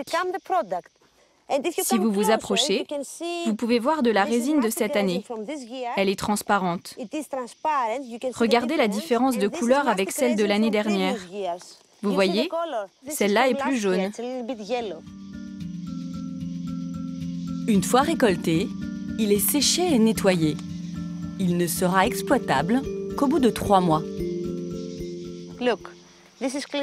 Ça, c'est du mastic propre. On peut le mâcher tel quel. C'est ce que faisaient les anciens. Ils s'en servaient comme chewing-gum. Mais aujourd'hui, on s'en sert pour fabriquer des médicaments, des cosmétiques, de la nourriture, des boissons alcoolisées.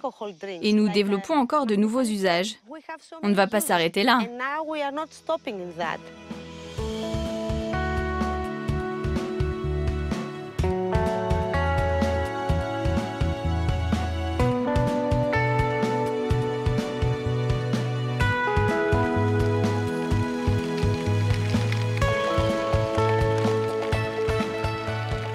Roula et son mari se sont installés à Chios il y a une dizaine d'années et se sont passionnés pour cette île.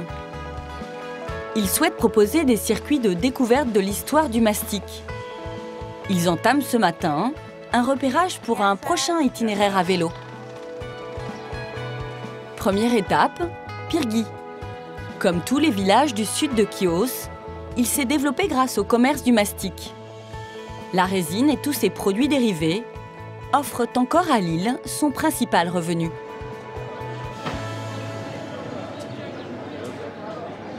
Mais ce qui frappe en entrant dans le village, ce sont les façades des maisons.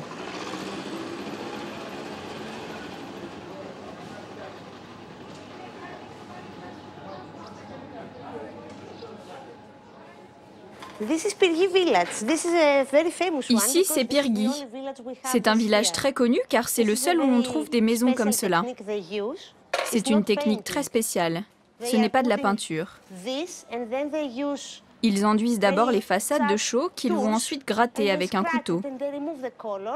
Ils obtiennent ce contraste et dessinent des motifs spécifiques. Ce sont des motifs géométriques qui représentent des fleurs ou d'autres éléments de la nature. Chaque propriétaire réalise lui-même sa façade.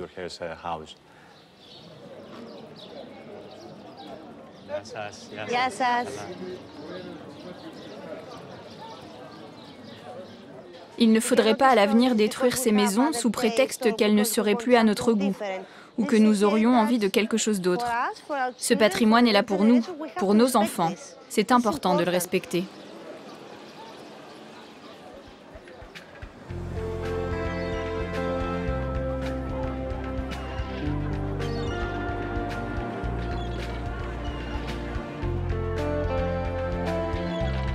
Roula et Vassilis continuent leur périple vers l'ouest de Chios. Ils ont rendez-vous avec un barman qui élabore des cocktails à base de liqueur de mastic.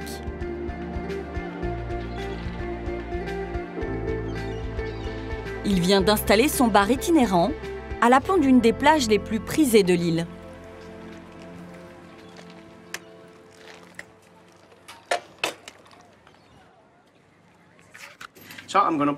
Je verse le premier ingrédient, de la liqueur de mastic artisanale. Je mélange ensuite cette liqueur avec du jus de mandarine. C'est votre recette Oui. Ça sent bon. Et on va ajouter au cocktail une mousse à base de citron et de mastic. Et pour finir, des feuilles de lentisque. Et voilà.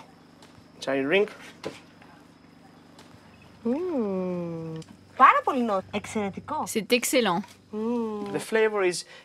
Le goût est un peu terreux. Quand on goûte le mastic, on n'a pas ce côté végétal ou floral. On est vraiment dans de la résine, dans quelque chose qui vient de la terre. C'est très naturel. C'est ce que les gens adorent. Cela donne une très bonne image de l'île et du mastic. C'est quelque chose de nouveau, de frais, et je pense que la plupart des gens seraient curieux de goûter un cocktail à base de mastic. C'est un produit qui est en train de devenir à la mode dans le monde entier. Donc c'est une chance de l'avoir sur notre île et d'avoir des jeunes d'ici qui le valorisent. C'est une très bonne publicité.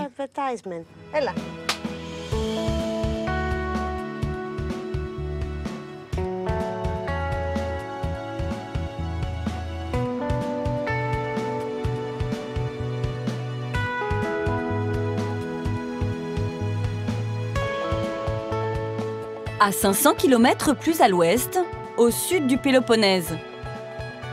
L'île de Cythère, que les Grecs nomment Kissira, ne fait partie d'aucun archipel. Elle se trouve entre le continent et la Crète.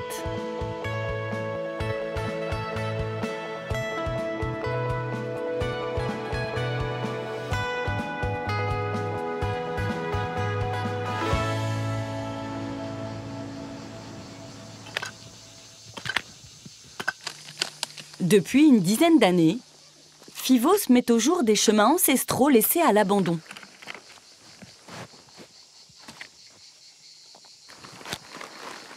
Nous essayons de rester assez fidèles aux vieux sentiers, aux vieux passages, parce que c'est les passages les plus intéressants. Là, si parfois euh, le vieux sentier est devenu dangereux, où il y a beaucoup de végétation et on a quelques alternatives euh, à gauche ou à droite du sentier, nous allons les emprunter. Mais en principe, on essaye de rester euh, plus ou moins sur les pas de nos ancêtres.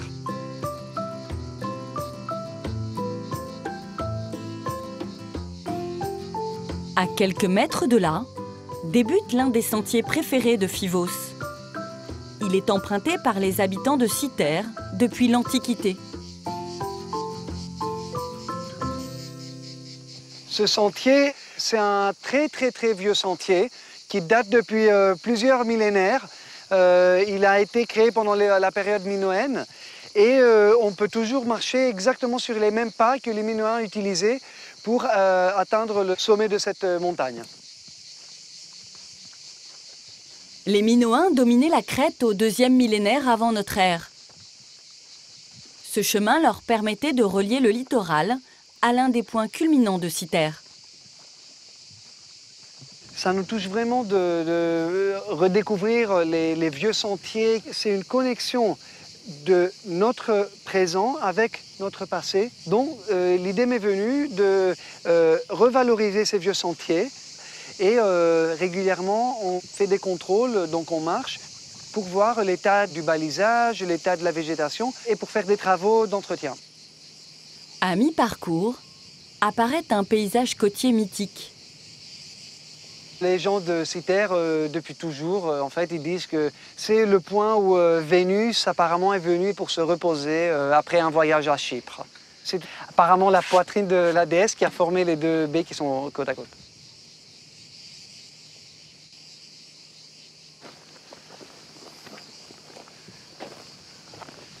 Après deux heures d'ascension sur ces pentes raides, les marcheurs s'approchent enfin du sommet. Dès qu'on arrive ici, on oublie toute fatigue parce que les vues sont vraiment illimitées et euh, le lieu est un lieu avec une énergie très très forte, donc euh, euh, ça nous récompense pour tout notre effort.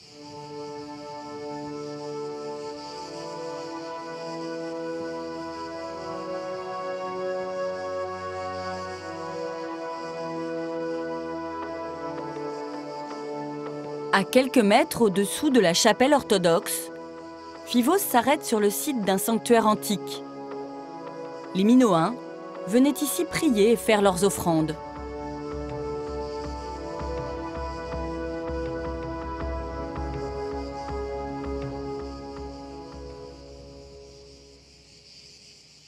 C'est le seul sanctuaire minoen de ce genre qui a été trouvé en dehors de la Crète. Aujourd'hui, c'est un des lieux euh, de citerre les plus importants d'un point de vue archéologique. Imaginez les anciens qui venaient ici et laissaient les offrandes à la grande déesse des Minoens. Imaginez la vue qu'ils avaient sans les routes, sans rien. Cela devait être magique. Ils devaient aussi voir la crête à l'horizon. Le sommet de cette colline révèle l'emplacement crucial de Citer parmi les îles grecques. Depuis l'époque minoenne, toutes les puissances voulaient contrôler euh, l'île de Citer afin de contrôler les routes commerciales. Citer est à un point très stratégique. L'île contrôle l'entrée et la sortie de la mer Égée vers la mer Méditerranée de l'ouest. Euh, nous avons de ce côté-là la mer Ionienne vers l'Italie.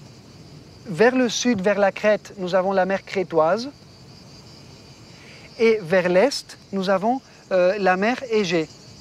Donc Citer est situé vraiment à un carrefour de trois mers très importantes de la Grèce et c'est ce qui a marqué l'histoire de l'île à travers les temps.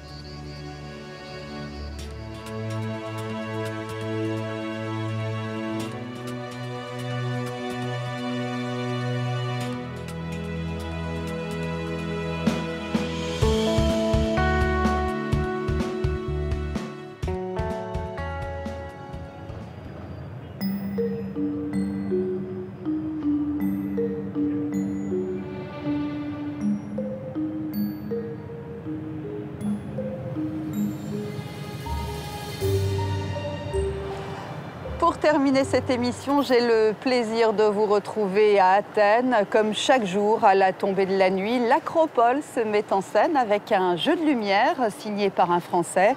Il s'appelle Pierre Bidot. Il y a 13 ans, il a été choisi pour illuminer plusieurs monuments grecs. Et chez nous, en France, il est notamment réputé pour l'illumination de la Tour Eiffel. Voilà, c'est la fin de notre voyage en Grèce pour les 20 ans des Racines et des Ailes. Un anniversaire que je voulais bien sûr partager avec mes prédécesseurs, euh, Patrick de Carolis, le créateur de cette émission, et Louis Laforge. Les équipes vont continuer à sillonner la France et le monde pour partager avec vous cette passion du patrimoine. Merci de votre fidélité. L'aventure continue bien sûr sur France 3, mais aussi sur les réseaux sociaux. Vous pouvez y retrouver un florilège de nos 20 ans, nos plus belles images, nos plus belles émotions, nos plus belles rencontres aussi. Merci à tous ceux qui m'ont aidé à préparer cette émission exceptionnelle. Merci à Patrick Charles, Hélène Frandon, Jean-Luc Rabona et toutes les équipes techniques et éditoriales. Je vous souhaite à tous une excellente soirée sur France 3.